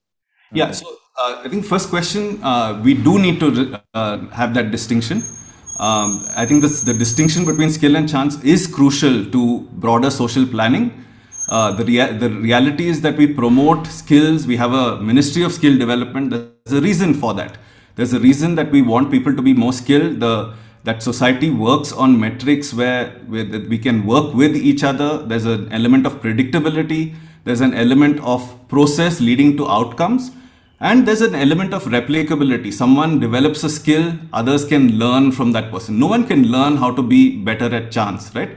So in terms of a broader public order, there is value to knowing what are skills, promoting those skills and allowing those skills to be professionalized and allowing industry to go out, find people who have these skills, train them up on those skills, give them playgrounds in some sense for these skills to be developed, not necessarily taught, but learned and taking those skills and actually distributing them in other places. So you can learn skills and your first uh, brush with digital media might be through games. You might go and start a set uh, uh, a new startup which becomes a future unicorn. But you the gateway to your digital world has been through gaming, through, has been through something that you find fun, that something that you find entertaining. That distinction is critical. Now, the, the broader question you ask is should we also allow games of chance to be uh, uh, offered and played? I mean, that's a much broader debate. It requires a, it certainly requires, like the world over, a much clearer regulatory framework. And why do we say that? Because chance, if you're, you're allowing chance to be commercialized, you actually need integrity protocols to make sure it is actually pure chance because the, the, the, the opportunity to manipulate in chance-based environments is even greater than skill-based environments because it's simply chance, right? You have, uh, you buy a lottery ticket, someone wins, you want it to be truly based on the probabilities. But if someone is actually limiting which lottery ticket could potentially be picked, you are actually reducing the natural chance that exists in life. So you have to treat chance and skill differently because skill has makes its own way while chance is based on probability and you have to protect that probability and this distinction is quite crucial. Your second question, um, um, Vivan, if I, sorry, I've... Uh, All our responsibilities, uh, government or uh, the state, civil society and industry, what do each have to do very quickly in a, in a sentence uh, to, to uh, have a safe, secure, uh, growing ecosystem? So I think uh, as as users first, I'll put the user before the state uh, to actually understand the role of uh, games, sport um, in, in your own life. So do things which are healthy, act in moderation. In, with, with respect to the government, I'd split the two. State governments just stay away from games of skill. understand and recognize that there is an element of game of skill and do nothing about it. I'd say the central government build a clear framework on integrity and dispute resolution for the games of skill industry. And in terms of the specifics, enable self-regulators to take over, let the industry find its way. Traditionally, in all of these things, markets find solutions that the government will not be able to. If this is personally harmful, I'll stop playing it after a point of time. So allow industry to find the right balance of what is healthy and what is not, but in a very clear self-regulatory environment where there's a public health element, there's grievance redressal if industry is not uh, self-regulating in the in the right way. But at a broader level, just enabling a sort of a healthier digital environment to evolve. So I would say, I think uh, Ranjana's talked about it, Mr. Jain has talked about it, slightly sort of the, the state has to play and uh, sort of build this clear distinction in regulation. So it has to enable that there cannot be, be this repeated games of skill for because there's profit involved is gambling. So uh, helping us to uh, build very, very clear bright lines between skill and chance.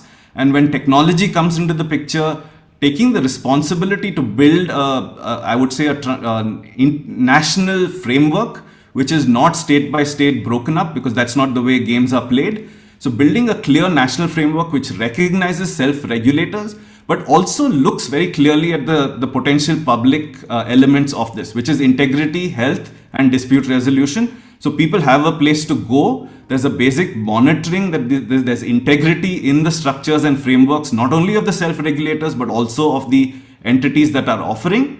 And at, and at a broader level, some basic tracking of the public health elements of both responsible gaming and the products of these gaming environments. Thank you, Nandan, uh, for really um, um, it's been it's been great uh, that you've been able to uh, shadow us uh, digitally, and uh, hopefully the students of Nirma will be able to see you physically one day. Look forward uh, and interact with you. So thank you once again for being with us and and for um, for also setting the stage in many ways for the panel that follows, uh, which now has uh, even greater responsibility to really show us whether self-regulation is really all that it's cut out to be. And I think uh, the burden of proof is on them to, to really discuss that with us and convince us uh, as the audience. Uh, Mr. Shambhu Singh, as, uh, as you have some final words, please, sir. This is addressed to Nandan. Okay, Nandan, you're And not this has a reference being set to free what just you yet. mentioned earlier, that the decision makers today consider gaming, online gaming to be a social opiate. Now let us be honest, the pressure on the state government to do something about online gaming is coming from the family. It's Exactly. coming from the parents. My child is spending eight hours, nine hours. Basically, that is the issue to be tackled. The skill and the chance and all that argument can go on, carry on ad infinitum. Basic thing is how do we bring about a balance? Whose responsibility? As an individual, Nandan mentioned that, okay, when I feel that I am doing it too much, I will stop. But if I don't do that, Right. So Nandan, I think it's linked to um, the conversation. Uh, uh, the conversation around game design. I'm sorry, the mic is uh, intermittent. Uh, but any final words on that? Yeah, I I think uh, the, the sort of outsourcing of parental responsibility has been a traditional issue here. So, is the state the parent or is the parent the parent?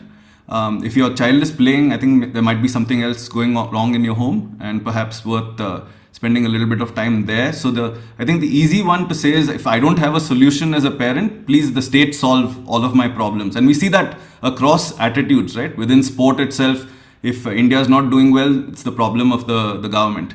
So there's very little sort of belief. There's a strong sense of infantilizing the individual, thinking that someone is just at the mercy of everything in the world and needs to be protected from the world. And to me, in simple form, that is what parenting is about preparing people for the world and all of its challenges, all of its excesses. And uh, I think maybe there's a little bit more focus required at the individual level on parenting rather than what the state should ban or shouldn't ban. Thank you, Nandan. Uh, audience, uh, round of applause for the panel, please.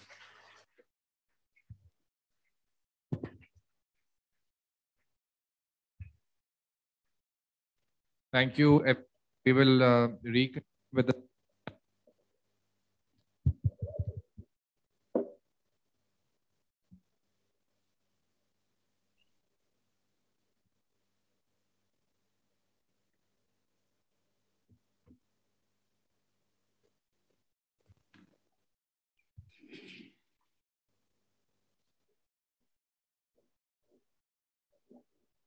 Thank you all the distinguished panelists for today enriching us with your experiences and perspectives over one of the emerging and contemporary area. I am sure today we all have several lessons to take back home, but the learning experience for today does not end here. Soon we would be commencing with panel discussion too, and I will also request the audience to maintain the decorum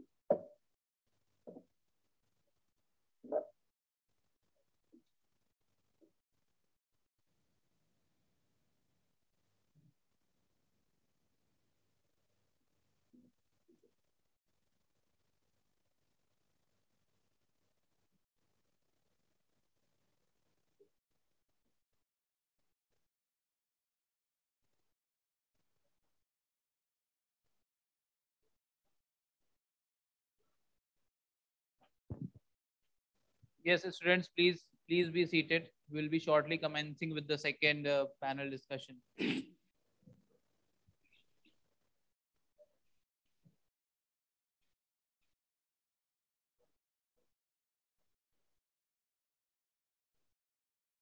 wallets, acquisitions, retention, and affiliate providers.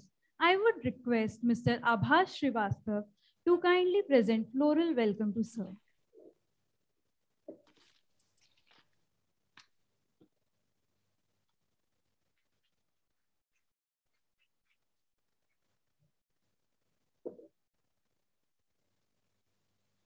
We also have with us Mr. Anwar Shirpurwala, who is the CEO of Federation of Indian Fantasy Sports. He comes with a rich and diverse experience of over 20 years in sales and marketing, government affairs and public policy. Mr. Shirpurwala served Manufacturers Association for Information Technology for over six years. He has also immensely contributed to the growth and development of the association and also strive to create a vibrant ICT industry. I would now request Mr. Nilesh Shukla to kindly present floral welcome to sir.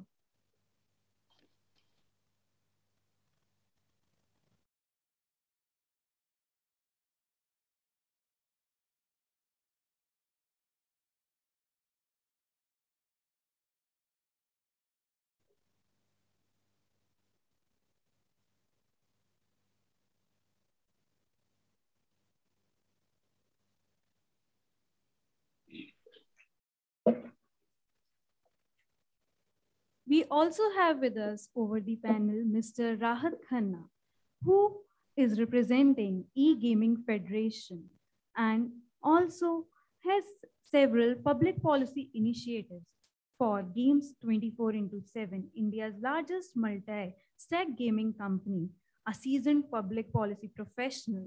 Mr. Rahat keenly follows the regulatory and legal developments in the online gaming sector across provinces in India. He has over a decade of experience and has worked closely with the public sector in several domains. Prior to joining Games 24 into 7, Mr. Khanna headed the regulatory affairs and public policy mandate for AB InBev across North India. I would request Mr. Arpit Sharma to kindly present floral welcome to sir.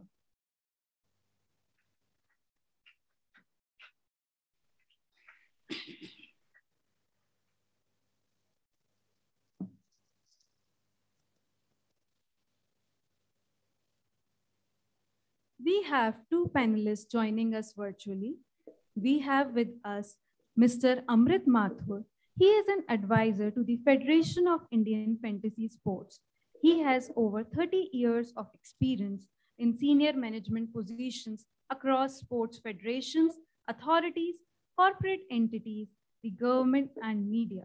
He is also member National Sports Committee of CII and FICCI, Vice President, Professional Golf Association of India, cricket columnist for leading national dailies magazine since 1980, and also writes a weekly cricket column for Hindustan Times. He has also had a long association with BCCI beginning in 1988. We wholeheartedly welcome you, sir. We have also joining with us virtually Mr. Pradeep Kumar Mishra. Sir is an Uttar Pradesh IAS cadre officer of the 1976 batch. Mr. Mishra has held various key positions in Indian bureaucracy, including that of Steel Secretary and Secretary Department of Personnel and Training. He has also been Joint Secretary in the Ministry of Defense and Additional Secretary and Financial Advisor to the Home Ministry. Thank you, sir, and we wholeheartedly welcome you. Now over to you, Mr. Vivan Sharan. Thank you. Uh, and uh, thank you to the audience. We are spilling over uh, by about half an hour. Uh, this session is going to be uh, 15 minutes shorter than the previous one. Uh, but I hope that all of you will try to enrich yourselves. It's not often that you have such Uh, experience uh, in, in one uh, panel, but I'm really delighted to talk to therefore uh, everyone here with us today, starting with uh, Mr. Amrit Mathur. Uh, Mr. Mathur, you've you've got immense experience in in sports administration, and I think it goes to many of the points that were discussed in a previous panel, where essentially I think everyone agreed that self-regulatory organizations and sporting federations and gaming federations have a lot of work to do. Um, and I think this is just the beginning of, uh, of the kinds of collaborations that are likely to happen between uh, such entities and, um, and, and the state and, and the civil society. Uh, so in your experience of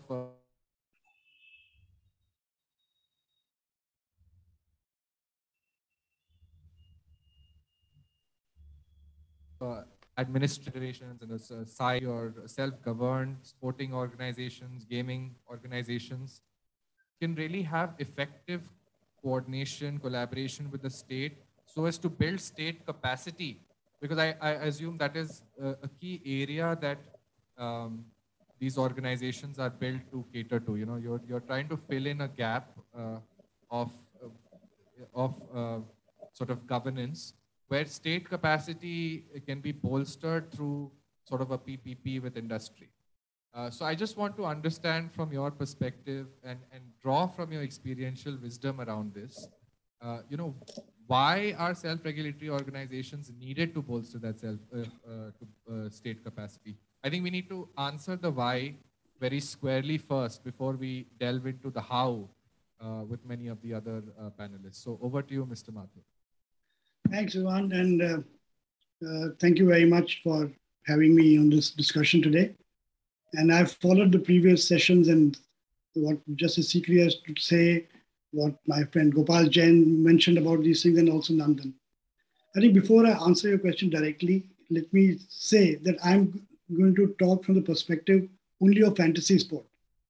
And what distinguishes fantasy from other online gaming is you know, two, three very basic points. A, it's a platform for engagement of uh, fans with sport.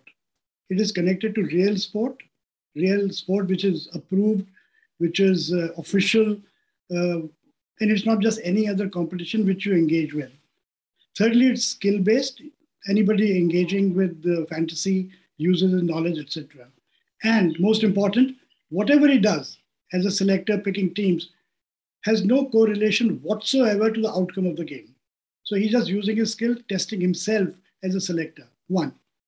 Now to the broader point about self-regulation, multiple laws being enacted at different places. and how this is a problem and what could be a possible solution. I think based on my experience, let me give you a cricket analogy. You know, in cricket, there are basic 42 laws which are made by the MCC, which are followed in cricket all over the world. Those are sacred. They are sort of uh, have to be followed in any game of cricket. So I would expect in something like fantasy sport or even in gaming, the center or somebody central to define these so-called 42 rules for gaming and for fantasy. After that, there are subsidiary laws called playing conditions. So when you're playing a test match, you know, there is MCC laws, plus you have what is called playing conditions, which means how many overs are you going to bowl in a day? Are there going to be 90 overs? How many fielders can be outside the circle, power play, etc. These are subsidiary laws, playing conditions left to the individual country which is hosting the game. So if this we can set up a system of laws of who impacts the industry in a similar manner, I think that would be a help. One more point here. Now, provided these central laws and central guidelines across India are initiated by whoever is the authority to do so, there is still great scope and the need for self regulation. Now, where does self regulation come in? Again, let me explain it through cricket. Recently, everybody must have noticed there was a controversy about Wriddhiman Saha releasing a private WhatsApp chat about selection. Now, at one level, he's done nothing. He's just informed people of what happened. At another level, he's flouted a basic contractual condition between him and the BCCI. Now, the BCCI says the player who's contracted with us cannot reveal information which is sensitive, which about if it's about selection, etc.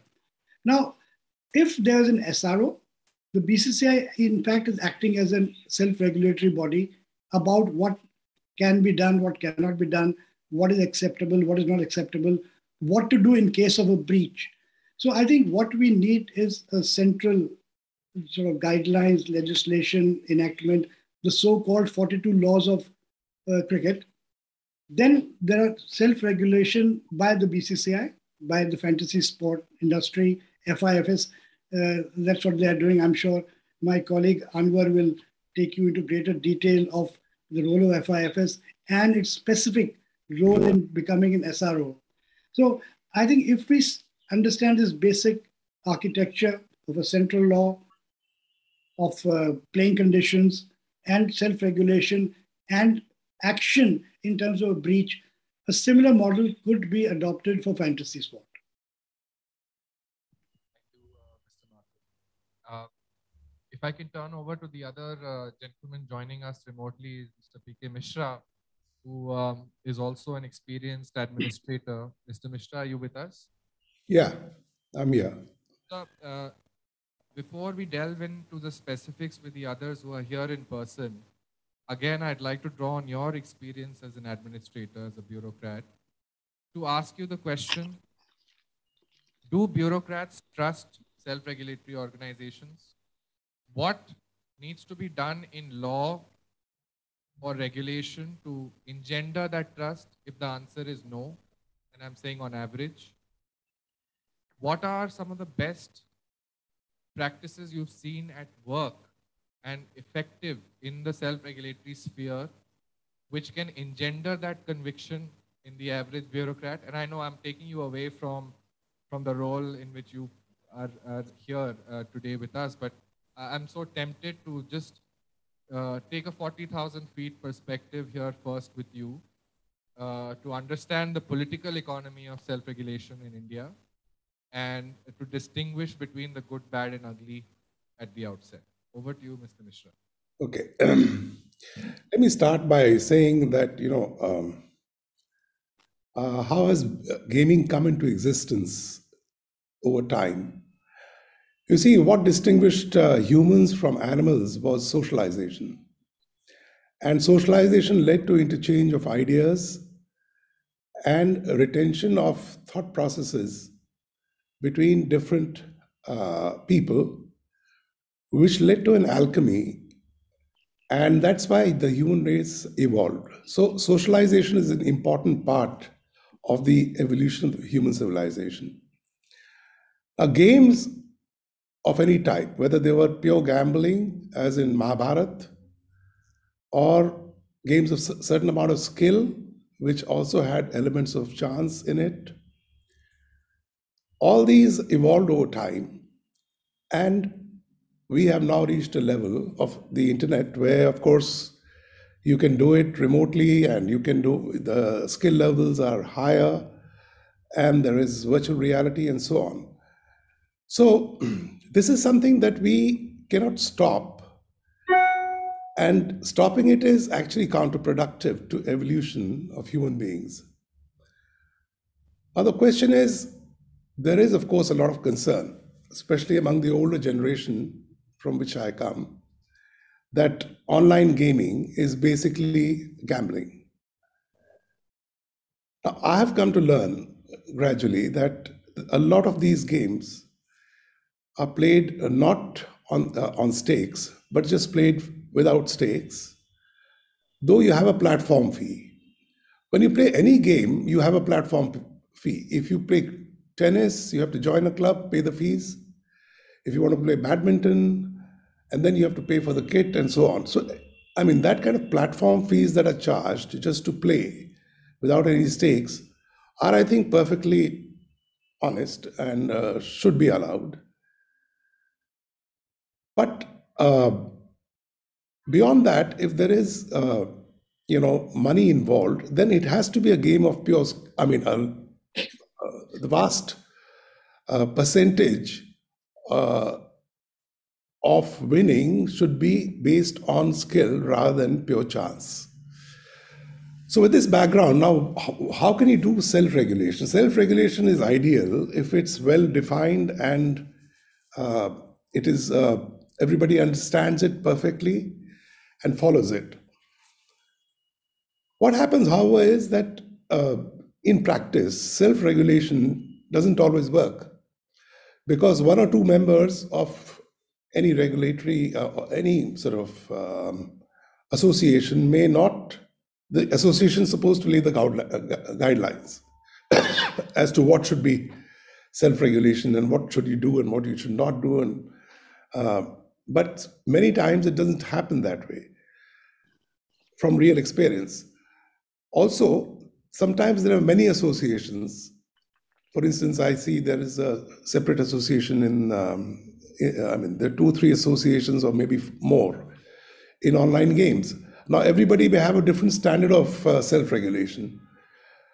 So, the ideal situation, of course, is that it should be um, uh, regulation or guidelines should be laid down by the government to which people should adhere. And uh, in this case, whether it should be the state or the center, this is another issue that has come up. You see, gambling act, the gambling acts were enacted in the states because uh, different states have different kind of uh, uh, gambling, um, you know, games, uh, and uh, so it was very difficult for the central government to actually legislate on all the games. So individual states, and also because because it uh, the, there was a big concern about people playing games in public, games of chance, gambling, and creating a nuisance. There were fights and so on. So the government wanted to regulate it 50, 60, 100 years ago. And they said, well, uh, the states should bring out gambling acts where people should be uh, not allowed to gamble. And even there, mind you, the Gambling Act, because I have administered it, if you gamble in a public place, then you can be hauled up. But if you gamble inside your house, you cannot be hauled up unless you are charging a fee, what is called NAL. So if 10 people gather together in a house and play, uh, I mean, they gamble actually, games of pure chance, and the owner of the premises charges them a certain fee or a certain percentage of the winnings, then he can be prosecuted. But if people are playing with stakes, and nobody is charging them anything for using the premises, then it is not punishable under the Gambling Act. Now, today, online games are being played on the internet. So I think the best body to regulate this is really the IT ministry. And uh, why I say government should uh, lay down guidelines or regulations is because different associations should not have the uh, have a different set of standards for what is um, you know gambling and what is not gambling. And what kind of regulation should be followed. However there is a caveat. If the central government lays down these guidelines the definition of what is a game of chance and what is a game of uh, skill has to be very carefully devised. It should not happen that games of skill fall on, uh, you know, uh, on the wrong side of law. Uh, that means they become games of chance. So the definition has to be very, very um, finely tuned, and it should be very thoroughly examined and then laid down. And then you can have, you know, various issues which have to be uh, regulated, like, for instance, whether people want, uh, you know, um, people under 18 should not be allowed to play. Uh, and things like, uh, uh I mean, everything should be fair and ethical.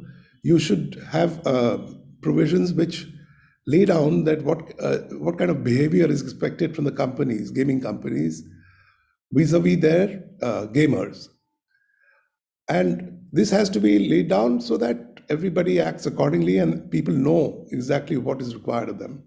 Thank you. Uh, you know, you you you've, you've opened up the discussion nicely uh, for me to know. So I, yeah, I, I was just going to end. So this is uh, my feeling that you know the central government will have to actually do this, and uh, uh, I think uh, the sooner they think about it, the better it is.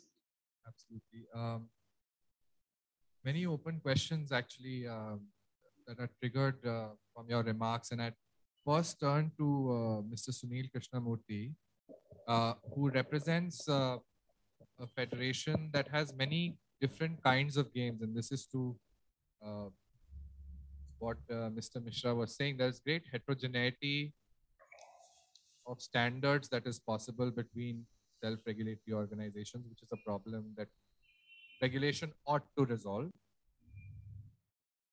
or at least uh, provide clarity on what levels of heterogeneity may be acceptable. But you as an organization are responsible or um, accountable to your stakeholders and you have a very heterogeneous uh, class, classes of games, categories of games within your fold. So how do you look at this question of heterogeneity is one without going too deep into the classes of games themselves, but just at a conceptual or an abstract level, as far as a uh, as a good uh, framework is concerned, from your perspective, do you want a homogeneous framework for self-regulatory organizations? And I'm not talking about classes of games. Do you think that's possible, or do you think that's utopian? And if it's possible, how do we get there? That's, that's question number one. And question number two is, what levels of accountability should be expected of organizations such as uh, which represent such heterogeneous classes of players? And what do you do to address these kinds of public interest concerns? Mr. Krishnamurthy.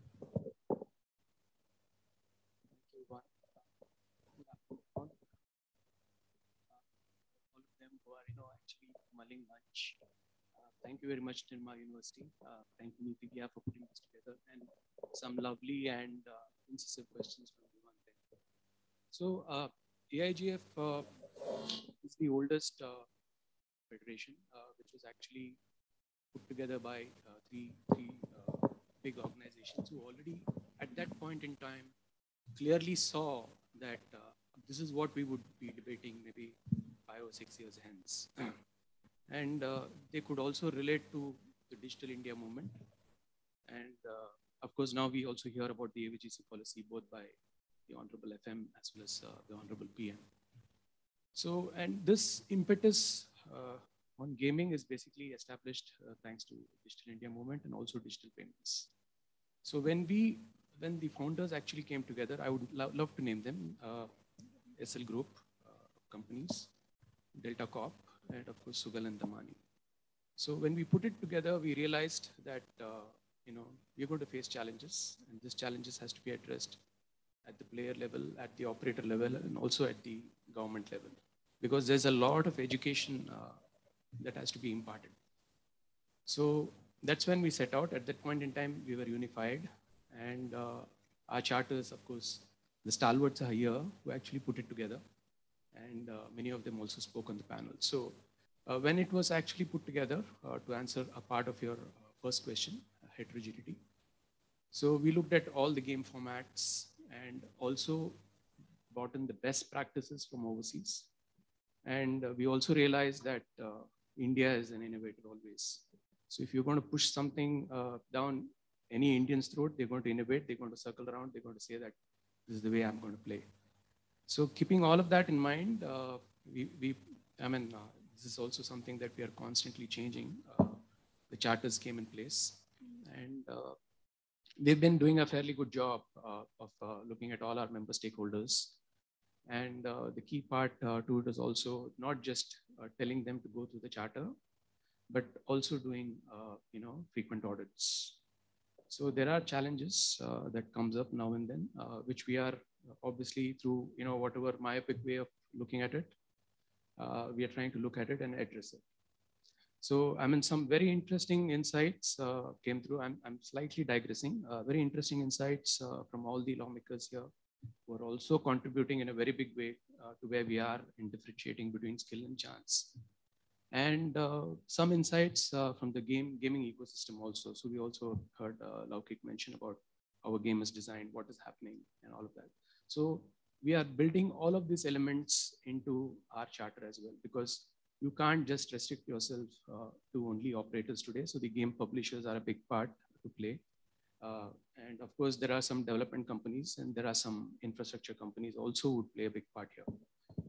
So uh, as far as SRO is concerned, uh, what we are trying to achieve is uh, trying to give it a kind of anonymity by using our Skill Games Council. Mr. P.K. Mishra is part of the council. We have a lot of other stalwarts also, Mr. Sutano.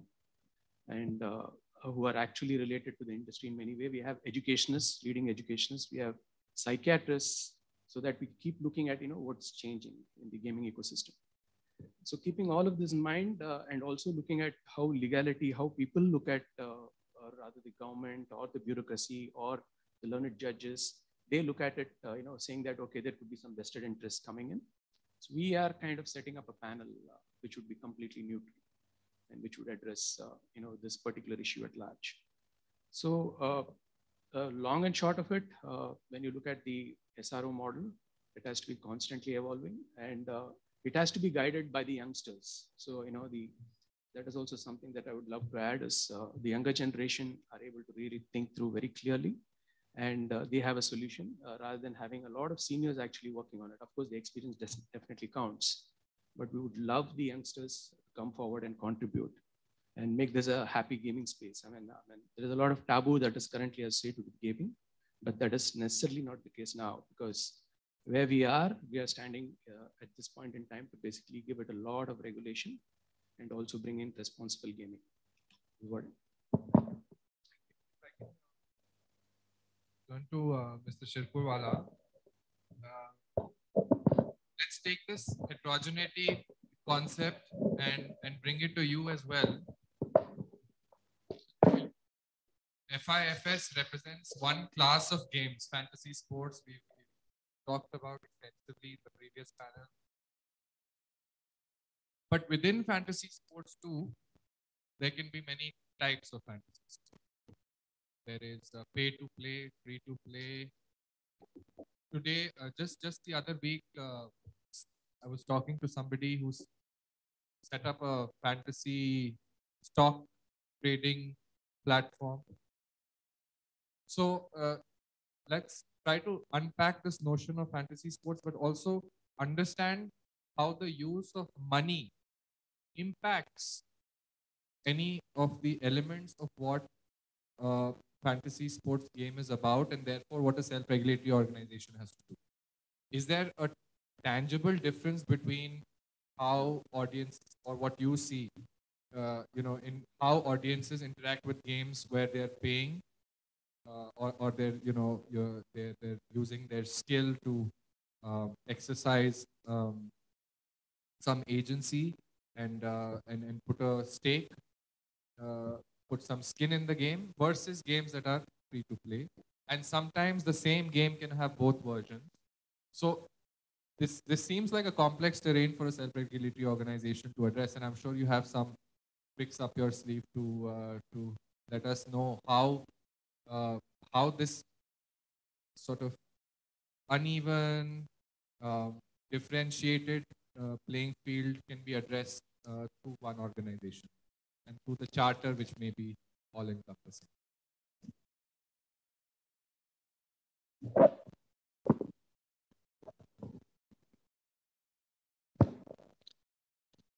many questions in one minute that you've asked, Vivan. Uh, but let me You have, you have five minutes. so let me let me simplify this, uh, okay? Uh, because there are certain very important and pertinent things that are being asked in terms of what should an SRO do.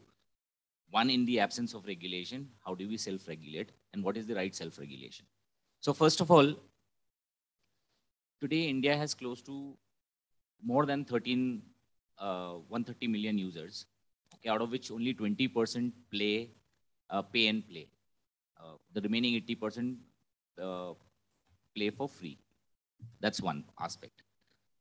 So like Mr. Mathur said, this, these platforms are largely used as an engagement, as a social tool to engage with friends, family, uh, and, you know, and enjoy the game.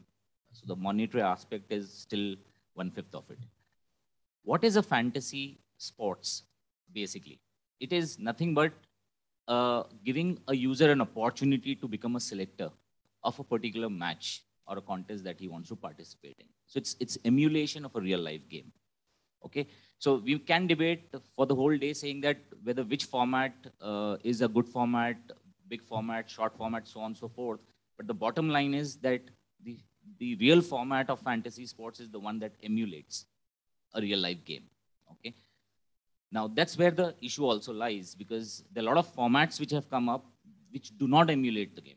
They take bits and pieces of one sporting game and offer as a fantasy.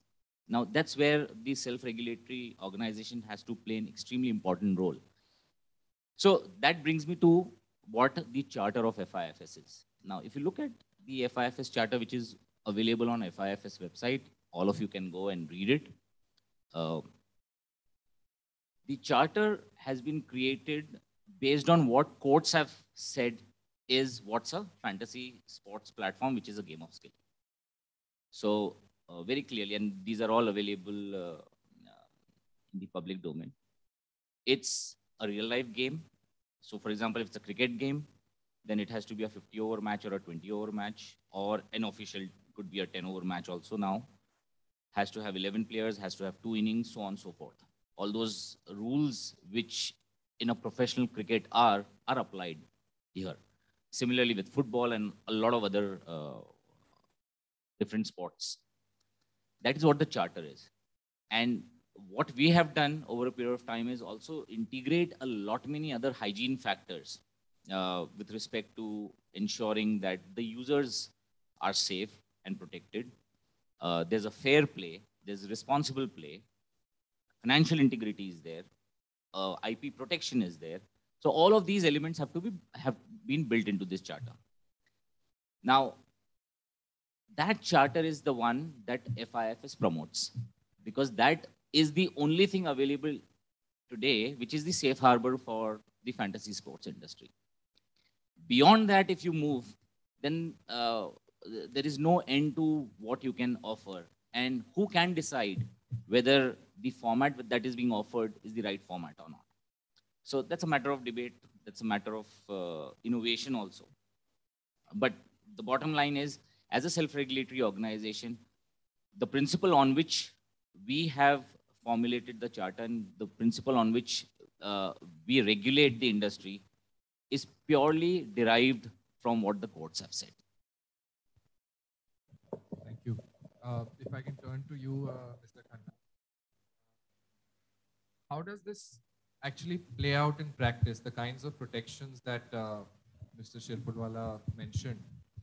Uh, you know, what are the kinds of due diligences that can be observed or monitored? You operate a, a, a game, but you are also part of a federation. So wearing both hats, uh, if you can tell us, you know, how is it that this works in practice? For example, for the audience to know, how do you implement financial controls? How do you prevent minors from playing? Some practical examples may help us along the path of understanding because regulatory technology is becoming fundamental to the work that uh, businesses are doing online. Uh, and whether they be in fields, emerging fields like crypto and uh, NFTs, or indeed in online gaming, which really in many ways is the gateway to the metaverse itself. Thank you. Thank you, Vivan. Um, at the outset, um, you know, my, my gratitude and appreciation to Nitigya um, and Nirma University and these, uh, most of all, these vibrant young minds who've um, come here to listen to us and uh, have given us their time. Uh, Vivan, before I answer your specific question, uh, it's also very, very important to talk about the context in which we are here today. Uh, what we seek or what we're trying to uh, engage with with regulators about.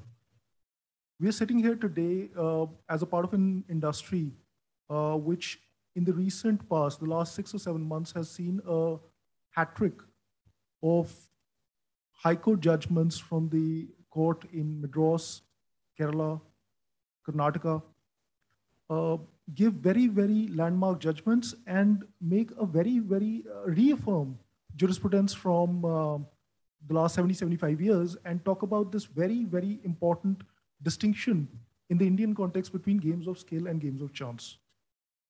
One of the first things that we expect from a gaming law in India or regulators in India is to acknowledge this very specific distinction. Because in our experience, and uh, I'm sure my co-panelists agree, uh, blanket bans stem from confounding games of skill and games of chance. And a blanket ban in that effect does not work for uh, legitimate business operators in this country. What it also does and why blanket bans do not work is because all the legitimate players walk out of that particular jurisdiction, that state or that area. But what does what it leads to is an underbelly or an underground of a lot of illegitimate players. So that's the context in which we are engaging with various uh, you know, organizations, regulators, policymakers, uh, deliberating this amongst uh, industry colleagues. Um, again, a, simple example, um, and it's a very situational example. Uh, the state of Telangana banned all online games a few years ago. And uh, as recently as 2021, um, a Chinese uh, hacking syndicate was unearthed of a scale of about 1100 crores. And that was larger than the scale of the whole industry combined at the point in time when the industry was banned.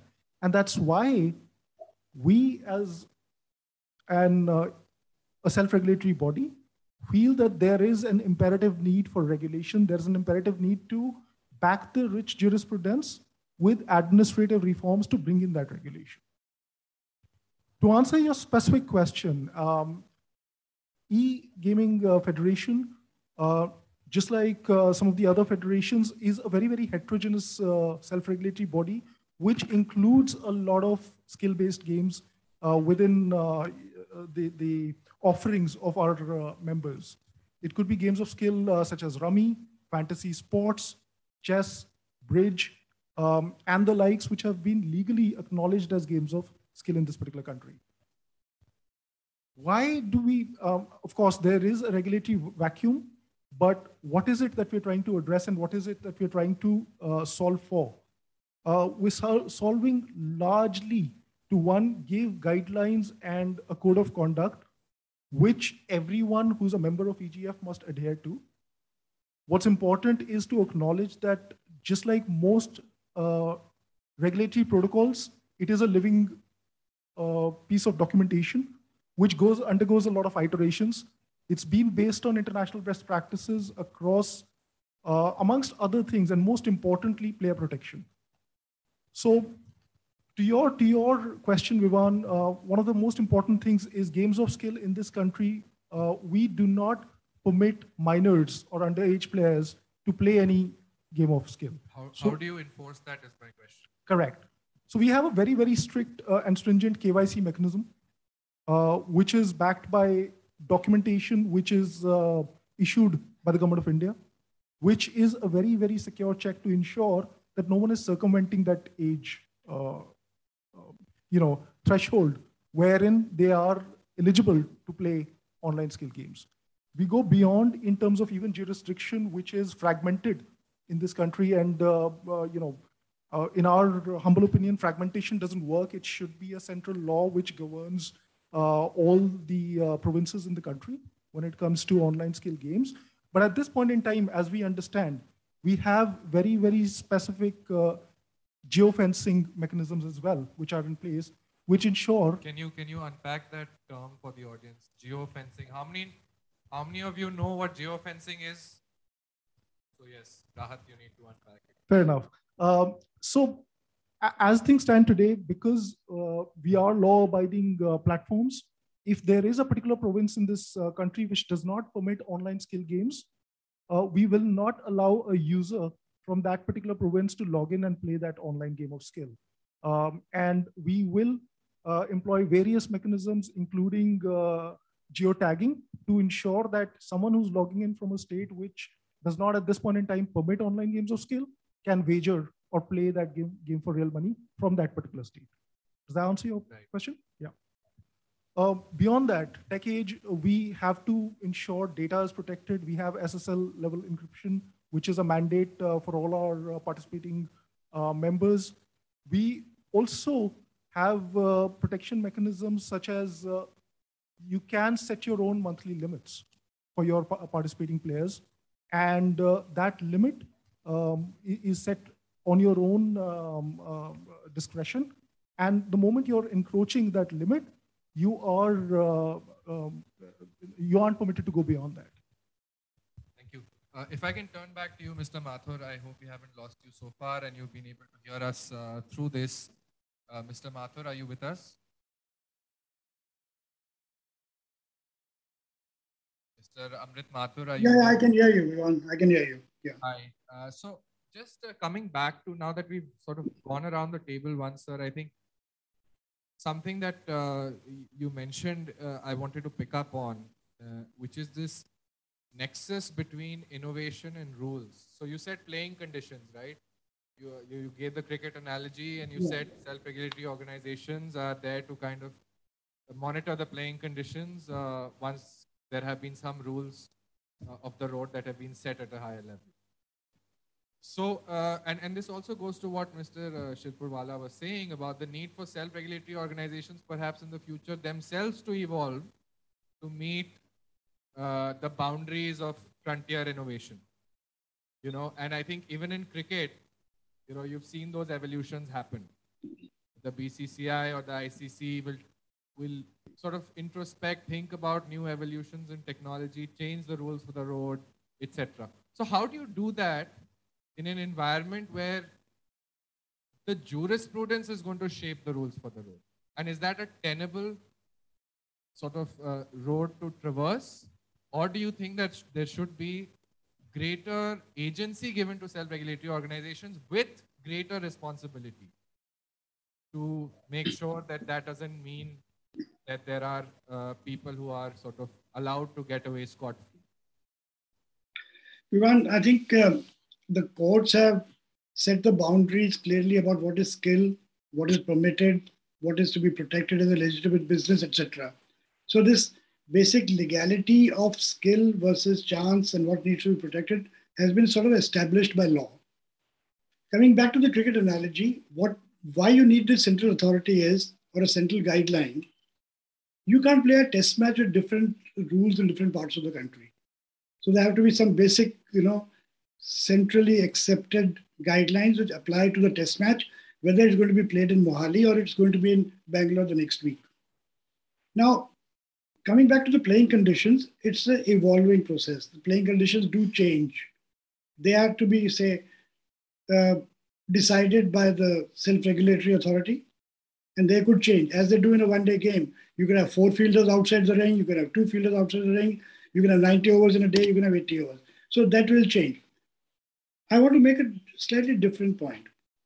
We talk of central guidelines, you know, common uh, laws, self-regulation, because of the concerns around, you know, uh, gaming, whether it's mental health, whether it's addiction, whether it's financial risk. Now, I think the Madras High Court had some very interesting observations to make about these concerns. Firstly, they said at the moment, while these could be all valid concerns, there's no data, there's no evidence, there is uh, no study to confirm that these problems exist in the manner they've been projected. And they even said that this is, it seems it's a moral issue which is being raised. Fair enough, put it aside. Even if there are concerns, and I'm sure some of them are perfectly legitimate, other panelists have mentioned that there are technical solutions to get over those issues, whether it is to prevent a minor, whether it's to set a limit of how much money you can win, lose, how much time you can spend. So there are solutions to that. Thirdly, I think it's also a matter of the industry communicating what all it is doing for responsible gaming, protecting uh, the users, etc. I think some other you know, uh, nascent industries have successfully done it with mutual funds, for example. They had a massive communication campaign saying ye sahi hai. So similarly, the gaming industry, fantasy sport, could think of an aggressive campaign explaining what they are doing to ensure responsible gaming, protecting the interest of the consumers. So partly, I think it's a perception issue. It could be real, as the court said, it could be perception. And I think the industry, the FIFS, and the SROs have to aggressively counter the narrative. Thank you. Uh, Mr. Mishra, we can uh, swiftly turn over to you. I hope you're also with us and you can hear us and you've heard the other discussants. Uh, Mr. Mishra? Hello. Yeah, Hi. I'm back. So, so uh, just want to dwell on another aspect which uh, which befuddles me sometimes. Uh, I, I can't think of another industry or market segment where there are so many different classes of products on offer. Okay, so I, I would assume that these are, we can look at these classes of games, esports, card games, fantasy sports, casual games, as has been discussed today, as uh, distinct classes in a way.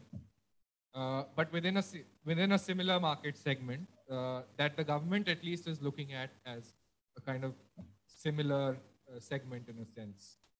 So, how do you, with multiple self regulatory organizations, draw reasonable boundaries of inclusion and exclusion so as to ensure that you know this you also have a have a responsibility to ensure that you are not creating competition constraints in any of these classes of markets now, these are legal businesses supported by the constitutional uh, scheme and the judgments on offer. So, how do you make sure, as an organization or as an administrator, uh, as an administrator, I would again ask you to don that hat to think yeah. through this with us, uh, uh, Mr. Mishra. Okay, there's one thing. Uh, I agree that the formats for different uh, games, online games, are different and they have different subjects and so on. But the question is that they're all on the internet. Uh, so that's one common factor. Now, as to having similar regulations, uh, this is an issue which is complex. Uh, each of these uh, different types of gamings will have different kind of uh, parameters and therefore different kind of self-regulation. But when I'm talking about regulation by the government, I'm saying in broad terms on ethics, on you know fair play, and so on, which will uh, be able to combine all elements of different game formats. This, the other point I was making is, uh, and I was just before I was finishing, was that once you have a government body recognizing and laying down certain guidelines, and you can have a process of registration, and also maybe you can have a um, you know a regulator or an ombudsman who will actually. Uh, I mean, in the first instance, the companies, if there is a complaint, they should make good. If they can't, there sh- there could be the concerned uh, federation, like in the case of AIGF, the federation will take it up if, if he doesn't get uh, relief from the company. And then the third could be the ombudsman by the government. But why I'm saying all this is because this is an evolving industry, and we can also actually start contributing. Uh, I mean, if we really uh, go down the line and develop good games, they could be sold internationally. We can get revenue from there. Once the government lays a certain basic framework, there will be greater confidence in the people and the gamers that they are on, on you know, they're, uh, they're not in um, unsafe territory. And that will bring forth further investments into this gaming sector and further employment and further taxation for the government. So it's a win-win for all. So that's why I said that you know there, there has to be a systematic approach to this, and we cannot just say we leave it to each individual federation to lay down some kind of uh, guidelines, because it may you know not meet the mark uh, some somehow somewhere. Uh, so that's why I'm in favor of a, uh, you know, and, and again, again, if you leave it to the states, individual states, as I've seen in some some other industries, I won't name them, different states came out with different regulations for that industry. The same industry was operating in different states, but they had different regulations, and that caused a lot of confusion. So I say a central uh, regulation or guidelines See, there are two ways of looking at it. A regulation is something that you're bound to follow and it flows from law. So there has to be first legislation, you have to bring forth a law. But guidelines can be issued without a law, which is to guide the industry in the interim as it develops. So, but it has no, you know, um, uh, enforceability. Uh, but the High Court has said that in the absence of a law, even a guideline of the government is tantamount to law. Okay? The Bombay High Court has held that uh, in some cases. So this will provide a lot of, uh, you know, um, certainty to the industry and help it to grow in a big way, uh, which... I, I, think, Mr. Mishra, you touched on an important point, which, um, you know, I'd encourage all the panelists to explore in their closing remarks as we, um, as we head into uh, uh, the last set of uh, last round of discussions with all of you, which is that this idea of a central uh, framework is almost indispensable if you think of self-regulation as the way forward for addressing the public interest concerns, which seems to be a consensus view. We can debate on the contours of that self-regulation, how effective, ineffective, inclusion, exclusion as we have.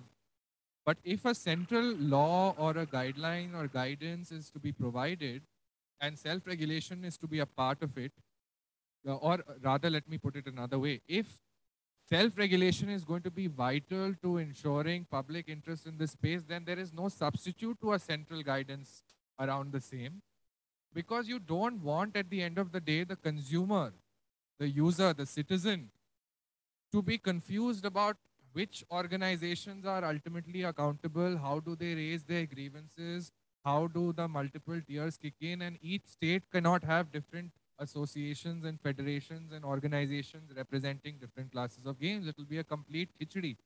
So to that point, uh, to the audience, I know you're hungry for lunch, but how many of you are aware of self-regulatory organizations in online gaming today? How many of you knew about AIGF or FIFS or EGF before you came into the hall today? So I think, sir, this is to now take this discussion to Mr. Krishnamurthy.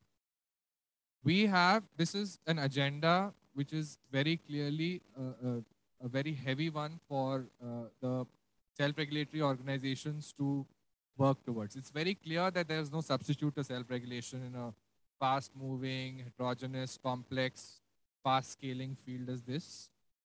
It's also fairly clear that the audience would prefer, you know, informed choice and greater agency and non-paternal lawmaking. But the corollary of that is awareness. And you mentioned youngsters. So what can you do to really up the ante on making everyone aware? And therein also lies the question of how many organizations, you know, how many people, you know, people, we did a survey, sir. This is, and this is not just for the self-regulatory organization, also holds true of regulators. How many of you know the regulator of mutual funds in India? Who is the regulator of mutual funds? Just raise your hands, don't. Okay, so there is about 5%. So the state is 5% better than self-regulatory organizations in raising awareness, which is basically close to zero. How do we up the ante, sir?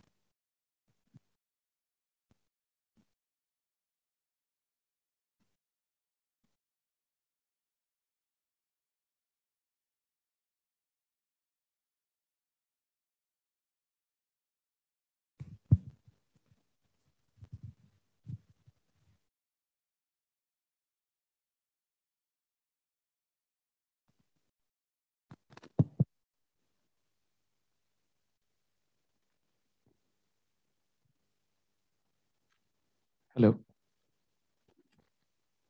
Wonderful. I think uh, been grappling with this for ages. So, and we also know how the system works. So, one immediate answer to this awareness is education. So, we spoke about it. Uh, you know, we spoke about, I mean, uh, Professor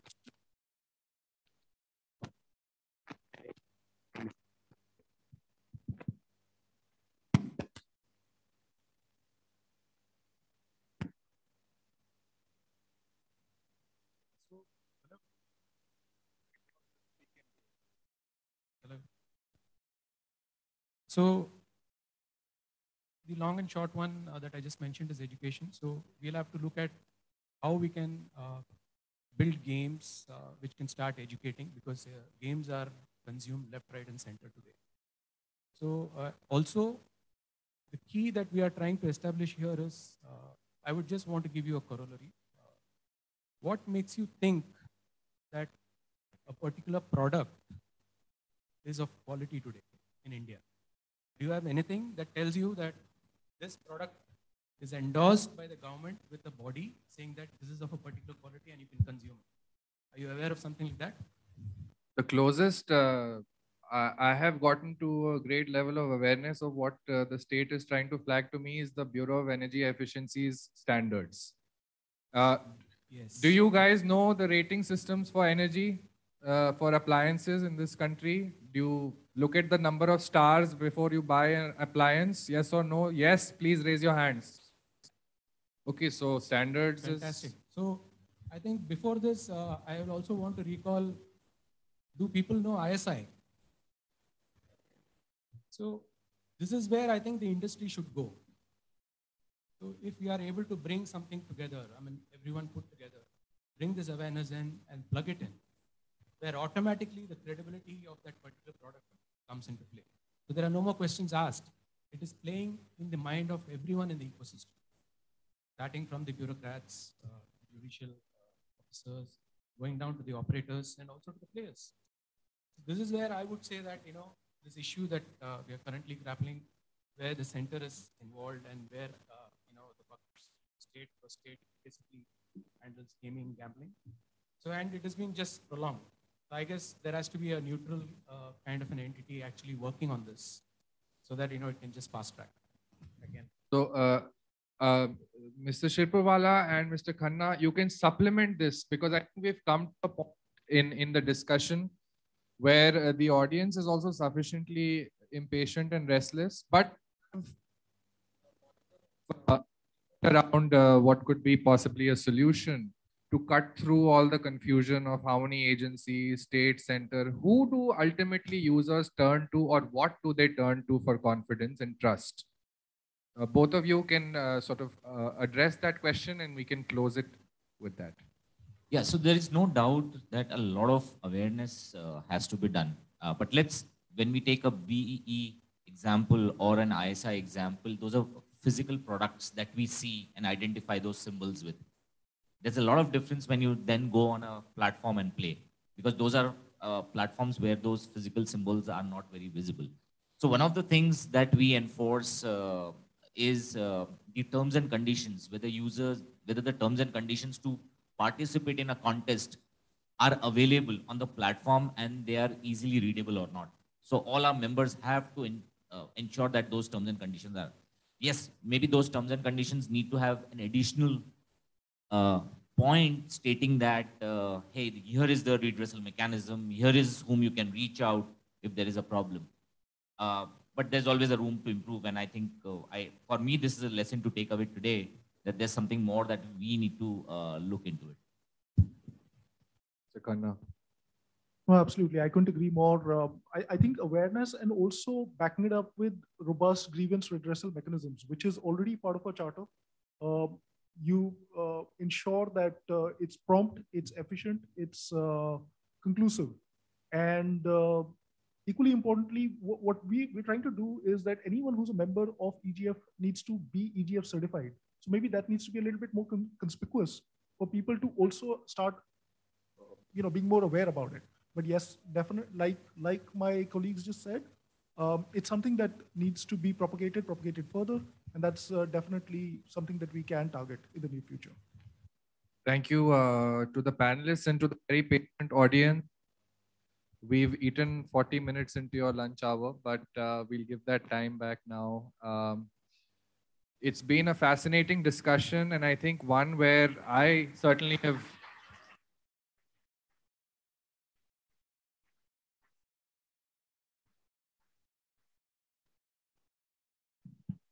the, uh, the, the division of labor seemed clear here now between the state, the center, self-regulatory organizations, parents, us, gaming companies, operators, publishers. And I think we've traversed a vast landscape, which I didn't think was possible to do in three hours. So again, congratulations to all of you and thank you for being here. I we should give a big round of applause to him for really conducting both the sessions very well, Vivan. Very well done. Thank you.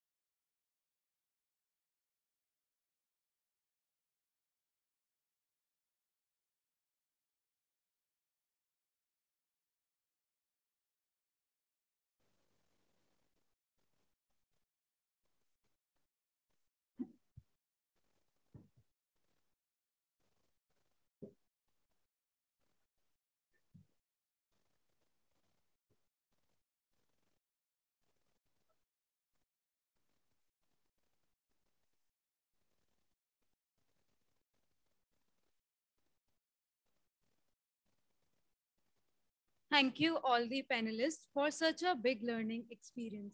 We all have surely got so many pointers to ponder upon today. Also, I would like to thank our moderator, Mr. Vivan Sharan, for ensuring the smooth conduct of the panel discussions. Now, I would request Mr. Abhas Srivastav, Assistant Professor, to kindly address the concluding remarks. Yeah, uh, very good afternoon to everybody. Uh, at the very onset, when we have thought of this particular uh, session, there were so many questions that were dense, that were perhaps not clear to us on the issue of gaming law. But as I have been a silent observer of this entire discussion, now I'm getting a few clarity on few of the aspects, that is for sure. And therefore, uh, I'm extremely thankful to our most uh, eminent panelists who have been here and who have thrown a big deal of light on some of the emerging issues on gaming law. Again, I'm very thankful to the Nitigya team for collaborating with us. I'm thank thankful to our director, madam, for uh, promoting this entire event and allowing us to do in a manner which is most fruitful to all. And I'm also thankful to our staff members. I'm thankful to the student team who has driven the entire event. Uh, they have been working day and night for this particular event and they have actually put on a very uh, commendable show. I'm also thankful to the patient audience. Definitely, you are the important stakeholders of, any activity that we do. So I'm hopeful that uh, you have gained something. I'm, I'm, I'm also happy that you are celebrating your praises. That, that's also something. So once of all, uh, once again, thank you to all. And if I have uh, missed somebody, then I'm thankful to that person also. Thank you. And uh, now I'd like to request uh, uh, our director, ma'am, Madhuri ma'am and uh, Malik sir to kindly join us on the stage for memento presentation to our panel. Okay.